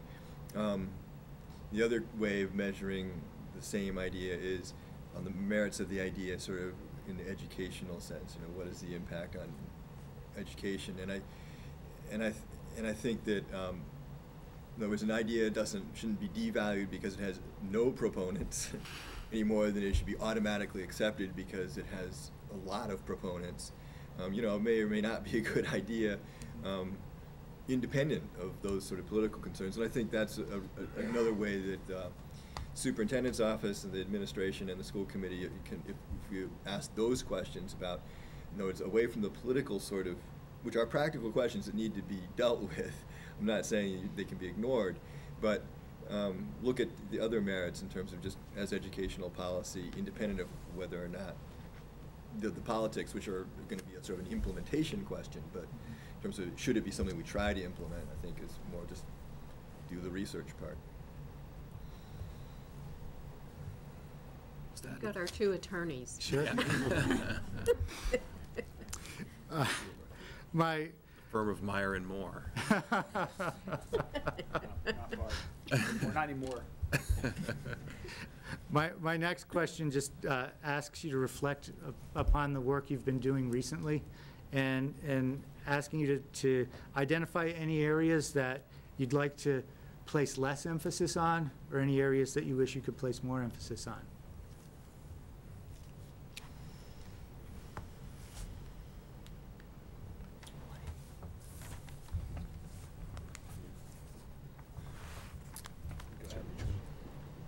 I think being a level three district um, is something that we as a community and as a, a school committee would like to see us eventually work towards um, coming out of that, uh, that level three.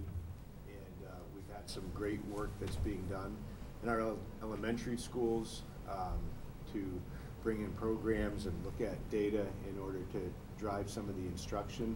I think there's a lot of good things going on there. And I think with a, a new superintendent coming in, um, that continue the support that's needed in those schools in order to continue to make them feel like the work that they've been doing will continue, uh, towards, uh, the goal of getting out of that level three, uh, status would be something to consider. Other comments or responses to that? Okay. Yes, Mr. Shaw. There's three things that I think we've been spending time on. I think two of them we can get away from. One is, I'd like to spend less time looking for a superintendent. I'd like to spend less time talking about the start time. Um, I'd like to spend less time worrying about the budget. I don't think we're gonna be able to get away from the budget one as easily as I'd like to. Uh, But I would like to be spending more time on some of the things that Mr. Zahowski said, which is how can we as a school committee really support the superintendent and the administrative team and the teachers to get the most we can for the kids in the classroom. Um, I, I would like to follow up on one of the things you, you said in response to that, because I've been thinking a lot about the just variance in performance between your schools and wondering how that plays out in the community. Um, I've been in districts with, you know, schools that perform at all different levels, but this would be the first time I'd be in a district that had someone in the bottom twenty percent and the top twenty percent within the same district. And I just wonder how, um, how you, how that's perceived politically, how that affects the way you identify priorities, how it affects the way you build support for um, a plan that wants to target and really hit um, the areas of need while trying to sustain what you've been able to achieve in the um, schools that are doing well.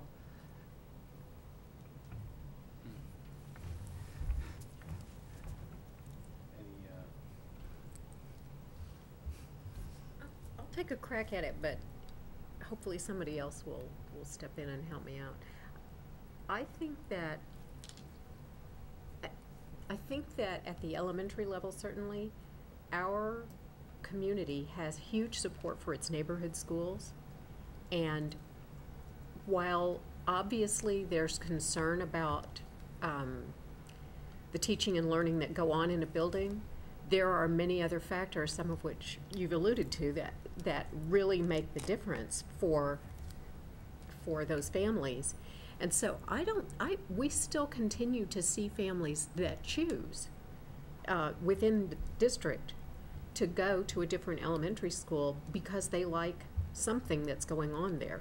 So there's a real, um, there's a, there's a real feeling of loyalty to a certain elementary school, and I think that there's, I think that there's a, a personality to each of our elementary schools, things that attract people beyond just what they see as performance on certain um, tests.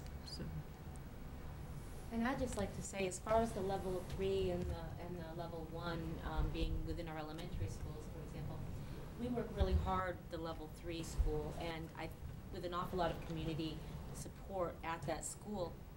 And I think that, it's not that we've always been at a level three there, so there was an issue, we're addressing the issue, and we're, we're, we're tackling it. I don't really see it as a political driving force as far as, um, separating. I think one of the things that we're trying to do is build unity between the, um, I think it was said unity, not uniformity. Mhm. Um, but un- unity between the schools, and each of them has a different philosophy. We're just basically trying to do the best we can while striving to challenge educationally always, and address the issue. I mean, we have the second there, we're, we're in there at the level three school, working to get it up, so. Thank you. Okay, just one last question. Um, What do you think is the single most important value that guides your work as a school committee?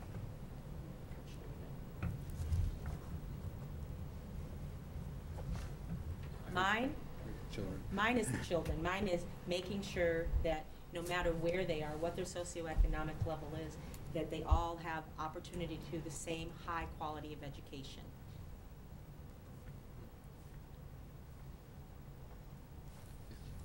I would say a certainly a value is to um, make sure to take all perspectives into consideration, not just perspectives that you may have come into the discussion with, but to really listen um, and before forming an opinion.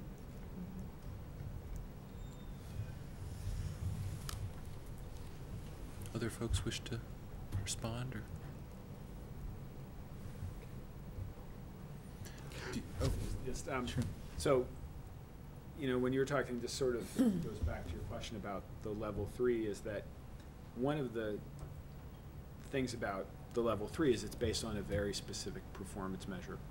And I think that in the district, while we recognize that that is an important perspective or an important measurement tool, that there's a diverse community and there's a diverse definite or diversity of successes that are possible uh, for our students. So that I think that that's what we want to offer to our students K through 12 is that they bring different talents and potential to school and that we don't want them all going, as you said, to this one place called excellence, mm-hmm. but that they are able to choose a path and that we offer them support in many paths.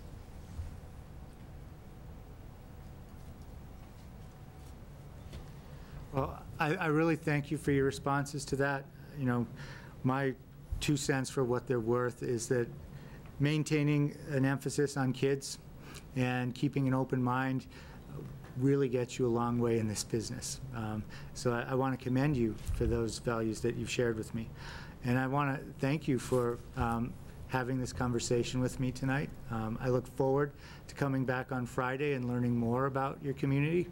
Um, And again, I just want to thank you for the opportunity. It's been great so far. Thank you. Very much. Thank you very much. Thank you, Dr. Provost. Okay, I believe we will now take, um, we're ahead of schedule, but I think what we'll do is we'll, we'll take a five-minute recess so that, again, we can reset and, uh, and prepare for the next candidate uh, with the goal of starting this final interview um, at, at uh, maybe 10 of 8 if, if, if the candidate is here, so we can. two minutes. Uh, I'm going by this clock, not that clock. So I have 7:45, so we'll take a five-minute recess, and we'll reconvene at 7:50 to to restart the process. Thank you. Uh, Welcome back to the uh, Tuesday, March 25th special meeting of the Northampton School Committee. We are uh, currently conducting interviews for our Superintendent of Schools finalists, and uh, we are pleased to welcome our uh, next candidate, um, Jordana Harper Ewert. Uh, Welcome. Just let you get your seat and get, get uh, comfortable there. Um, Welcome to the city of Northampton, Uh, and perhaps you'd like to begin by just introducing yourself and telling us a little bit about your background and your educational experiences, and uh, why you're interested in becoming the superintendent in our district. Sure. Good evening, everyone. I feel a little, You don't have to actually, I think that's just. I don't actually have to lean forward? Oh, camera, so yeah. thank you. Yeah. I feel a little funny with my back to everyone. It's such a pleasure and an honor to be here with you tonight. My name is Jordana Harper Ewert. Um, I am a resident of the Pioneer Valley. I was born in Amherst and have grown up and spent my whole life here. So it's really a pleasure to be talking with you about the tremendous things that are going on in Northampton and about the possibility of joining you in leading that work. I'm currently Chief Schools Officer in Springfield Public Schools. And my role there is to oversee, um, I've had different amounts at different times based on the zone configuration, but up to 16 schools. That includes oversight of the principals, the programs, supervision, hearings, suspension appeals, retention appeals, so forth. Level two union grievances. I'm a member of the superintendent's cabinet. I serve on the budget advisory committee, code of conduct committee. I attend and participate in all school committee meetings. So it's a very broad um, role. And it's really a, a passion of mine to work with at-risk students and to bring a high quality of education to all students that I interact with. So that's something that I'm very passionate about, regardless of what community I'm in. I like to find a way to engage and challenge all learners. Uh, prior to my work in Springfield, I was uh, principal in Chicopee at Litwin School, and that school was underperforming when I was hired in 2007, had been for many years. And working with a tremendous, very, very, very dedicated team of educators, uh, counselors, custodians, I was able to, clerks, can't forget them, I was able to help lead the efforts to bring that school to achieving adequate yearly progress, coming out of underperforming status in math, making gains as high as 13 points, um, really able to see student results. Um, under the new leveling system, which changed while I was there, uh, went from what would have been a level three to what would have been a level one, um, and just tremendously rewarding to be a part of making education delightful for the students that were there. So that's a little bit of my history. Uh, I am currently a doctoral student at Lesley University in educational leadership. I attended Mount Holyoke, took a class at Smith here, took advantage of that five college consortium, and I'm just delighted to be with you tonight. Great. So the uh, f- uh, first question from uh, school committee will come from our at-large school committee member, Carrie Nykerchuk. How will you assess the effectiveness of the current curriculum? Describe the process you would use to make changes in curriculum, including how you would oversee implementation of those changes. And further, what role does assessment play in the process? So, you know, this is the million dollar question. This is the key that drives all of our work, and so it's so fitting that it's first. A quality curriculum is the make it or break it moment of our curriculum, but, I'm sorry, of our educational program, but we have the opportunity to always refine it and to use our assessment data, which should be ongoing, seamless, integrated, a part of everything we're doing every day, to really inform our work and find out, is this doing what we set out for it to do? Is it meeting the needs of all learners? So that would include challenging and really extending our top students, um, making it a thriving cross-curricular endeavor. And is it meeting the needs of our struggling learners, our ELL students, our low-income students? Is there a way that we can bridge that gap? And looking at Northampton's data, we have some real stellar performance here. We have a high school that's just hitting it out of the park. And you have a level one school with CPIs, as I'm sure you know, student achievement scores at- up around 99. But we also have elementary schools that I'm sure have tremendous and dedicated teachers who are working very hard and would love to see their school also be a level one. So it's important that that curriculum meet the needs of all of our students, and not just by test measures, but by measures of their enjoyment, their engagement, finding out what is it that you're working on? How do you know that they've learned it? And that's really the question that I ask in my work with principals and teachers all the time. What did they learn? And how do you know that they learned it? So that's a formative assessment piece that really is essential. Uh, every day, quarterly, and then end of the year. And of course, MCAS is a measure that we live with. We can like it or dislike it, but it's currently our measure. Then we'll be on to PARCC. That will be our measure. Um, so those measures are important and they're benchmark point-in-time measures. Um, and in, in particular, the student growth data really highlights where our students have been and where they're going. So there's some real dynamic indicators in there. But I feel that from an educator perspective, the day-to-day what students are doing and what they've mastered is the most rich data for informing our practice and refining that curriculum. Thank you. Mhm. Thank you. Next question will come from the Ward 7 School Committee member, Mr. Downey Meyer. Hello. Hi. My question is, how should professional development and evaluation of teachers and administrators be connected? Not at all. Just kidding. Um, professional development and Evaluation evaluation. so I tend to think a little holistically, so I'll, I'll tell you the big picture first, and then I'll try to dive down a little bit more. If we're asking our educators to do something, we need to give them the tools to do that. So as a principal um, or as a central office administrator, I try to make a practice of never asking someone to do something that I wouldn't myself do. So as a central office administrator, this means that, of course, we also have state regulation guiding this, but I cannot ask principals, for example, to evaluate teachers using the new Massachusetts educator evaluation model without myself carrying that out. So I'm responsible for um, helping them through that process, which includes self-assessment, goal setting, announced, unannounced, um, formative assessments, and summative assessments. So that's a process that I myself have had to go through um, and find that very rewarding. And in our district, we use an online app, which was a learning curve for everybody that began using it. So I had to learn along with the administrators that I evaluate to be able to use that efficiently. And there's still some areas that I'm working on. So when they have a conversation with me and say, you know, I'm having trouble logging into the system or entering this, it's not that it's foreign to me because I'm also going through those challenges with them. But that's where the opportunities for professional development come in. So um, in that light, professional development could look like a working session, which is something that we've done often, bringing in some technical assistance and saying, here's something that we all need to do. For example, for the administrators saying, if we have this big lift of Massachusetts educator evaluation system and we need to be able to use it well, let's provide some professional development opportunities. For the teachers, similarly, they sometimes need technical assistance and they sometimes need sort of a cultural shift. So those are areas where we can assess what is it that they need and then help provide it. If we're asking them to do it, but we haven't provided the tools to do it, I feel that it's unfair to then assess their ability to perform to that standard. Thank you.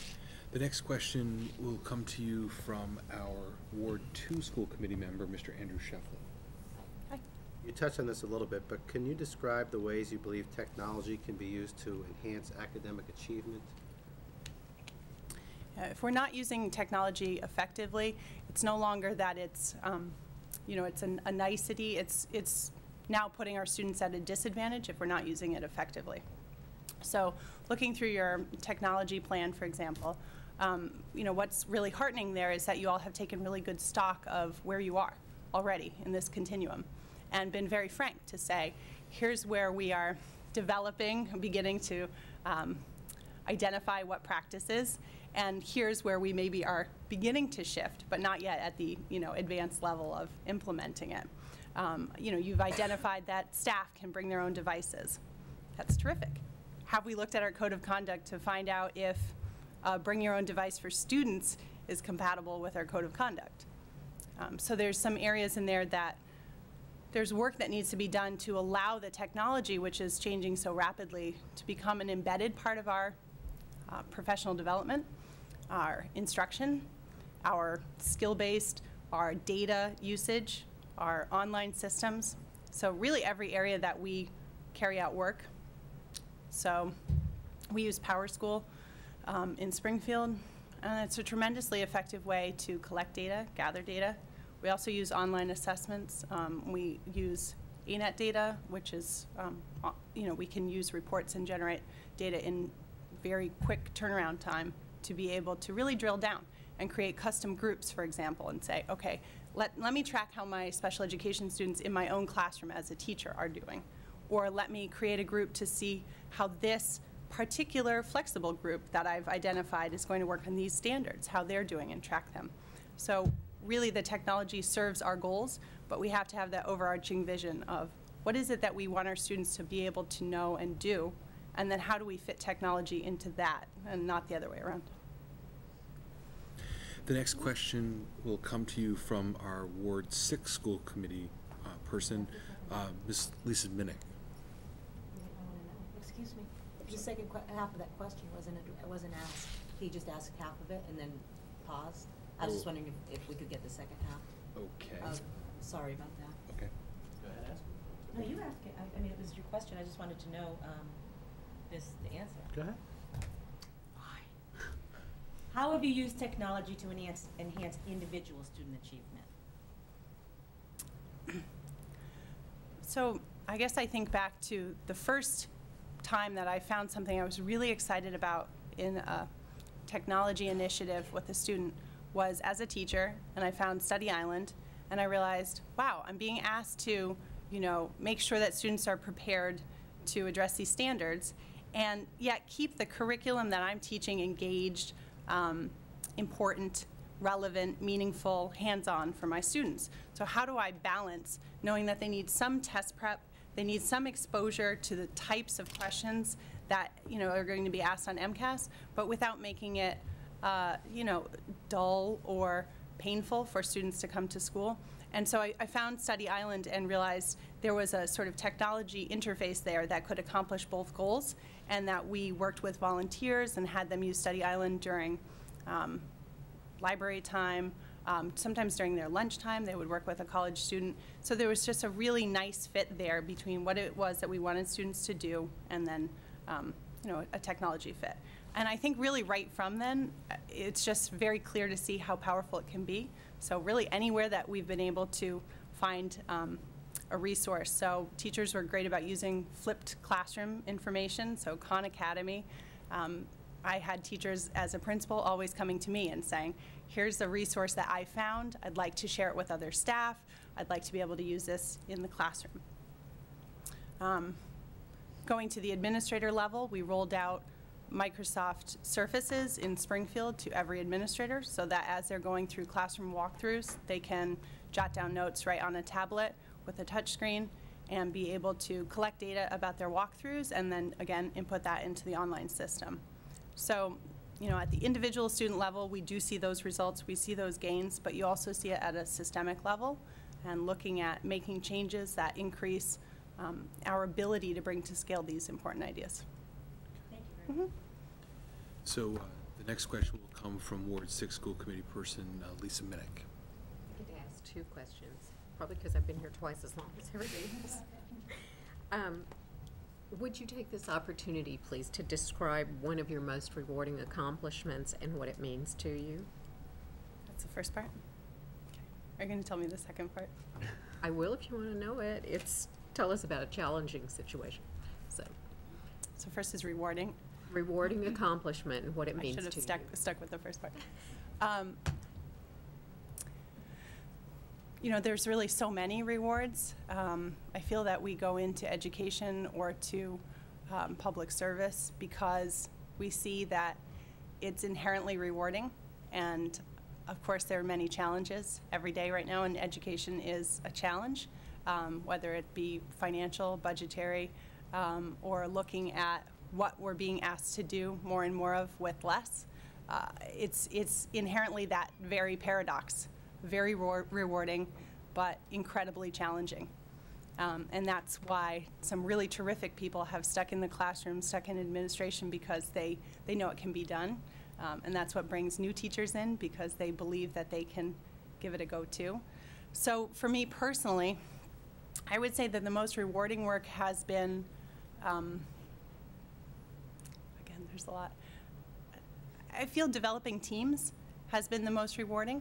So as, uh, whether it be as a teacher or as a principal, working with, um, I had a very significant special education population. We had six self-contained district programs for special education in my building. Um, and that resulted in about 27% special ed population in the building. And the staff that worked in those self-contained programs tended to be somewhat self-contained.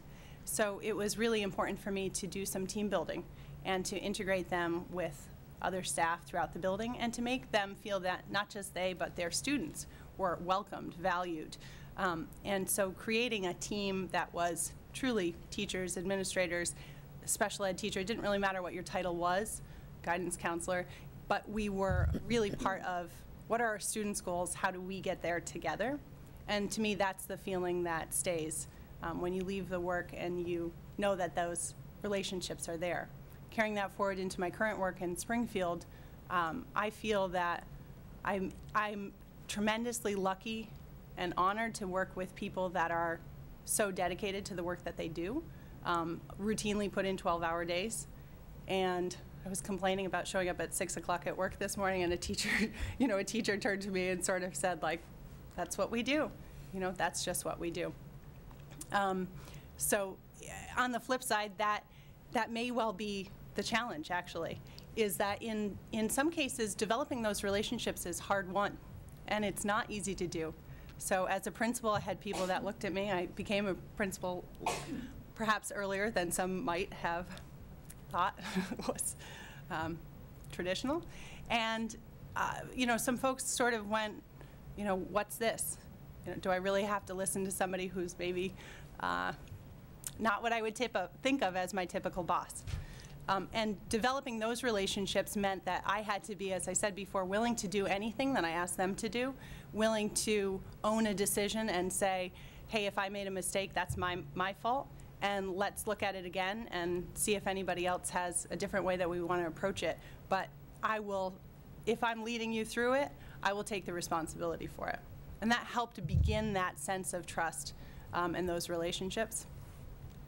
And, uh, you know, I encountered a similar phenomenon when I came to Springfield. Although I had been a teacher there before, um, I was faced with sort of the challenge of building relationships with individuals that are doing incredibly difficult work, uh, turnaround work in level four schools. Three of Springfield schools exited level four status this year. Um, and I work with about 6,000 students on a day-to-day basis in my 16 schools uh, there's a tremendous learning curve there. And so being able to work with and develop real honest relationships with these individuals in these schools was a priority for me. Um, and I feel great gratitude that I was able to um, begin those inroads and now have what I consider to be very open, very trusting, uh, and frank conversations. And these are individuals that you know I supervise, and they are able to provide feedback candidly to me. Um, and so we, we continue to get better and refine our practice. So I, I guess I answered the challenge and the, uh, the, the challenge and the reward by saying uh, the relationships that really lead to student results. Just because you, you did meld them together, I'm going to ask you again about the challenges. Can you think of it, is there something specific that you can think Sure. of that would tell us eh, where you could maybe address how you might have done something Sure. differently? Sure. Or what you learned? Sure. So uh, maybe I'll talk a little bit, I address the uh, difference between a cultural shift and a technical shift. Maybe I'll talk a little bit about a technical piece. When I first arrived in, um, in Chicopee, the school that I was principal of at that time was not inclusion. So special education students in the district programs were in those programs per their individualized education plans. But the other students were also being pulled out for services.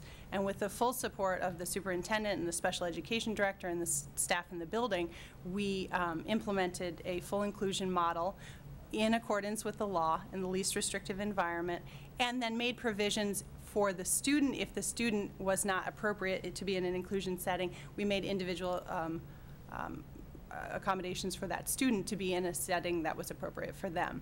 And that was challenging because it meant scheduling, um, it meant coordinating staffing and having certified special education teachers in the appropriate places. It meant coordinating with the classroom teacher so that the students were really getting uh, classroom instruction with their teacher every day. And then in addition, if appropriate, working with a special education teacher, really the core plus more model. So um, sort of the early rollout of the tiered intervention system. And there was a cultural component of that shift because teachers that were used to doing a pull-out model are used to working in a more isolated way. And working in a classroom with another educator meant um, the necessity for planning together, for coordinating what they were working on. And that can be challenging because, well, perhaps you don't have the common planning time to do that yet. So how can we find release time? Where can we find ways to do that? Um, so that was, you know, sort of the right off the block challenge um, there in, in Chicopee. And I, I would speak a little bit to the educator evaluation system as another challenge, because I think that's one we're all facing now, where, you know, we've been asked to implement a system that mm, the state was perhaps not quite ready with rolling out when they asked us to implement it. So as a, uh, as a principal, I served on the negotiation committee that was between uh, union and management to help adopt um, that to the district at the time. Given the choice to adapt, adopt, or revise, we, we chose to adapt it slightly.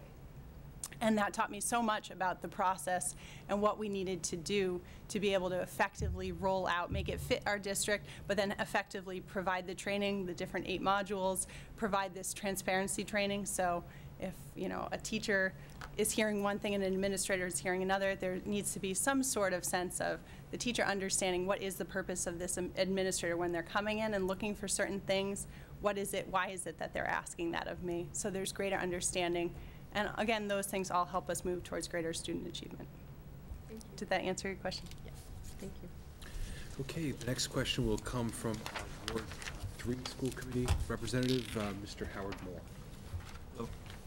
Um, This is the budget question. Uh, Could you describe your process for um, setting priorities within a budget and please use examples of uh, difficult budget decisions that you've made? Sure. Well, I can talk a little bit from the process that we're going through right now in Springfield. I'd also like to touch briefly on um, just the situation here in Northampton. Um, But just speaking about where I am now, uh, you know, we're in a position where even in Springfield, which is a very large district with a large budget, we have just over 27,000 students. um, and around $450 million, it's a large budget. So uh, even there, in times like this, there are, there are cuts.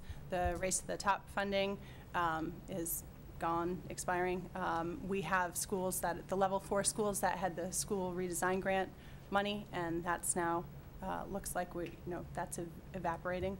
Um, So we're faced with um, you know, wh- what happens to the people that were funded under those, the fiscal cliff, and then also making hard decisions.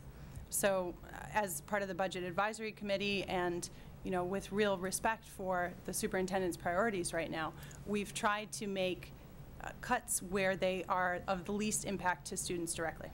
So looking at places that are away from student learning, um, looking at places that can best maintain the integrity of the instructional program, um, and trying to be a little creative within that. So one example that I give somewhat humorously, but it actually translates to dollars and cents saving, is looking at the uh, disposal of waste um, and how that's accomplished, and the fact that, you know, disposal is paid by tonnage.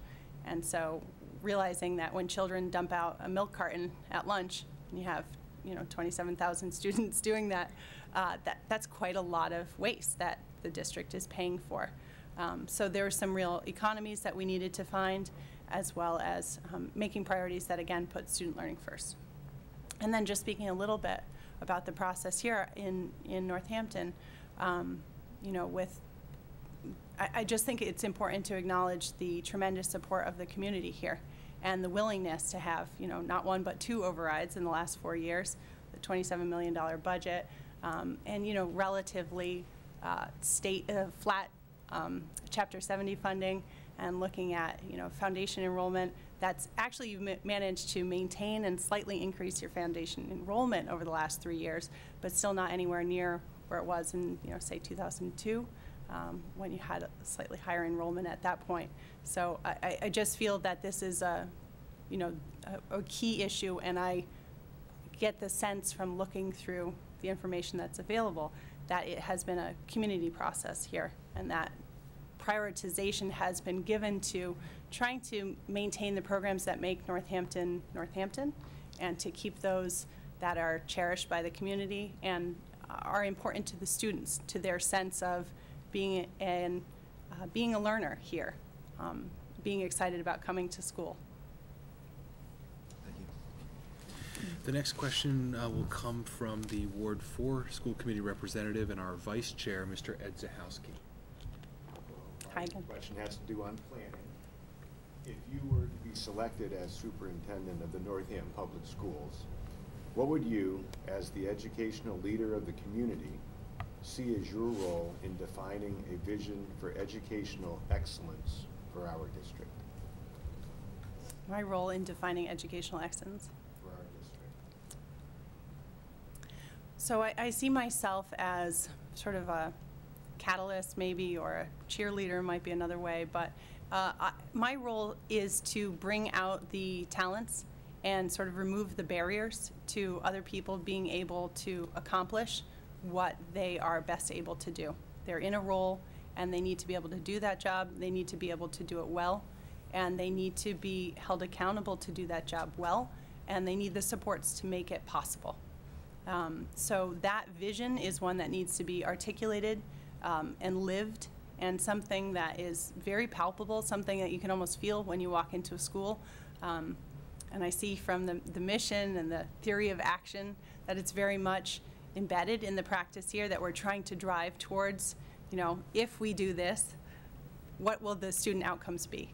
Um, and, and that really is the approach that will continue to lead this, lead the schools forward. Here we are. What do we need to do next? How do we get there? It's very problem solving oriented, solution oriented, um, and it's what our students need to succeed. The next question will come from the Ward 5 School Committee Representative, Ann Hennessy.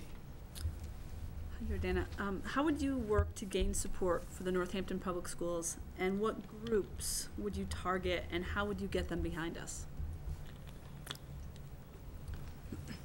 So support can mean a lot of different things. So, um, you know, financial support is important. Uh, the Northampton Education Foundation has been terrific, it seems like, uh, beginning with your support. Um, and that is something that is just really to be applauded and is really um, been a terrific resource for the school, but can't be uh, overtapped or solely relied on. Um, and I, I wish I could say that the terrific volunteers in Northampton Schools dog show was the end all be all of all of our fundraising efforts and community outreach, and that capped it. But it's terrific though. Um, so it is important to reach out to business partners, community partners. Um, I, I'm sure you've heard this evening talk about university partnerships, working with Smith and, and the university and so forth. Um, it's also important to reach out to our you know, state and federal legislators and to work with groups that can advocate on the behalf of school superintendents, um, MASS, having a, you know, a strong lobby and being able to advocate, especially on behalf of smaller districts where you may not have um, quite as much um, behind you or student enrollment behind you. Um, that's especially important. Was there another part? No, how would you get them behind us? So, uh, so, you know, and that, that's something that, I want to just touch on media for a second, sorry. So what I wanted to say next is that, you know, the schools are doing wonderful things, and they need champions. They need people out there saying, telling the good news stories. Everyone wants to hear what our students are doing and what accomplishments they've made. And we want to be able to bring forward not just, you know, for the sake of media, but for the sake of our students, what really is terrific about our schools and what's terrific about our educators. And our educators deserve to be hearing and feeling that sense of accomplishment from their work. So bringing media in and having those partnerships is, is also really important. Um, family and community outreach is tremendously important. Um, active PTOs is a great start, but there needs to be, you know, a lot more than PTO involvement, and it really needs to be a two-way, dialogue. So not just parents coming in sort of saying, what does the school need, but really schools reaching out and finding out what are the community needs. Um, and in that way, sometimes we, we don't uh, see all of the student needs. So perhaps our ELL population here being only 3% of your student population. So maybe that's not, um, you know, it's not our largest population, but it's a critical one. It's really important. So how can we make sure that we're involving the, the families of our ELL students? Um, you know, 30% of our students are low income here. How, how involved are those families in our schools? And how can we do a better job of reaching them and meeting their needs? I have uh, the next question, and it concerns leadership style. Um, What is the perception of your leadership style in your current district? And not just from, you know, administrators, but teachers, parents, school committee, and just uh, sort of a cross-section of that? I guess the word that comes to mind is uh, dedicated. I think that people have a sense of my commitment to uh, student success, student-centered, hard worker. Um, I try to have a sense of humor. It's not always easy, but I do try to have a sense of humor.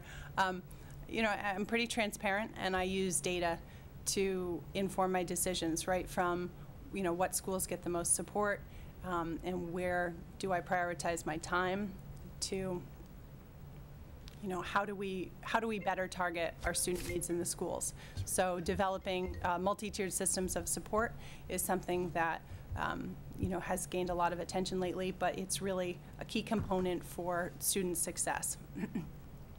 and being, it takes some determination to be able to spearhead an effort like that, that it doesn't have, it's not a quick win. You know, you have to be in it for the long haul. You have to have a clear vision of where students can go and how to get staff to where they need to be to support the work. Uh, we forget too often that this is tiring and it's hard and it takes a toll on educators. Um, and, you know, the, the, the educators are there to support the students, but, you know, who's really supporting the educators in this effort? So it's a snapshot maybe of what I, I believe people think of me. And speaking to school committee, because for this process, I, I had the sort of bizarre maybe honor of asking my school committee to serve as a reference for me. And, you know, so I had some frank conversations um, regarding, uh, you know, the, the, the honor that it is to be in a position to help move student achievement forward and the challenges that it brings. So, thanks. Thank you. The next uh, question comes uh, to you from our other at-large school committee member, Ms. Blue Duval. Hi. Hi. Um, Looking at your resume, could you explain the professional choices you have made along the way? And which do you think have prepared you to be the superintendent of the Northampton Public Schools? Really, all of them. Um, I've wanted a career in education, um, and all of my career choices have supported that. And, and truly, before my professional choices, being a resident here at the Pioneer Valley, growing up in the Amherst schools, um, in, uh, in high school, I attended uh, Greenfield Community College um, my junior and senior year and took advantage of those offerings to be able to um, complete my degree, um, and then went to Mount Holyoke, uh, and then continued at Endicott, and you know, so these are, and uh, currently at Lesley University. But those those are decisions that weren't professional at the time. They were. Uh, they spoke to my needs as a learner and my desire to be active and engaged and to push myself beyond what was comfortable um, at the time. You know, for example, leaving high school uh, as a junior to go to a community college, didn't put me with my age group or my peers. Um, but I, I became a tutor when I was there and realized that I was, at that point, passionate about helping other people in their learning pursuits. Uh, and I found in that setting, by the way, that folks were very, very um, appreciative of the opportunities that were afforded to them when they had the tools of a quality education. And so it was really, you know, sort of reignited that spark of how, how much somebody can want their education and really want to make uh, that purposeful commitment to learning. Um, and then since then, I've been teaching. I taught in Thailand uh, starting in 2000, and then have been in a variety, uh, all, all but one year in public schools of different districts, which have really helped me see how different um, school committees, teachers, administrators approach uh, the challenges that are in education today, and has really helped give me a balanced perspective um, on the accountability and the individuality and everywhere in between.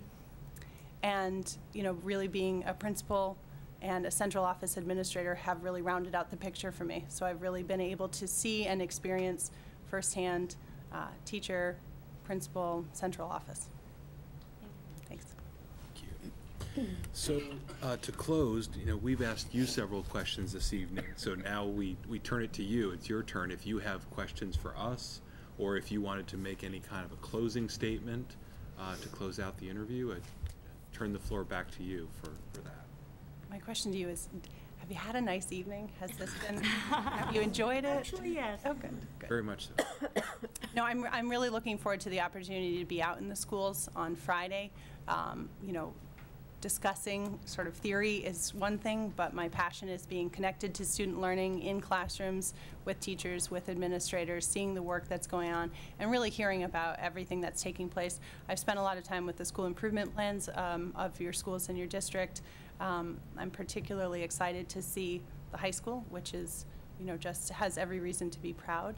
Uh, I know your children attend there as well. Um, and, uh, but in particular, you know, just walking around JFK, being here today, to see the murals, to see the student work, that's what it's about. That's what's um, driving all of us. And I want to thank you for your time and commitment and your um, patience with this process. And, um, you know, it's my goal that Northampton finds what it is that you're looking for in a leader to bring the vision forward. And likewise, I, I you know, would be honored to be a part of that. Thank you very much. Thank you. Thank you very much. So um, that concludes our third interview, our fi- third and final interview of the evening. Um, Just as an informational uh, for the public, I just want to remind people, as has been mentioned this evening, that on Friday, March 28th, um, there will be public forums here at the JFK Middle School Community Room um, uh, to meet each of these three candidates, uh, beginning at 3:30, the opportunity to meet Mr. Provost, at 4:30, the opportunity to, to meet and spend time with uh, Ms. Casna, and then at 5:30, uh, Ms. uh, Harper. Um, The school committee will then meet again, uh, have another special meeting next week, uh, Tuesday, April 1st. We're actually not going to be in our normal meeting place. We're going to be uh, meeting in the city council chambers on Tuesday um, because of a previous commitment in this space. So on Tuesday, April 1st, the school committee will meet in city council chambers at 7:15, and we will begin the deliberative process on uh, finalizing our selection.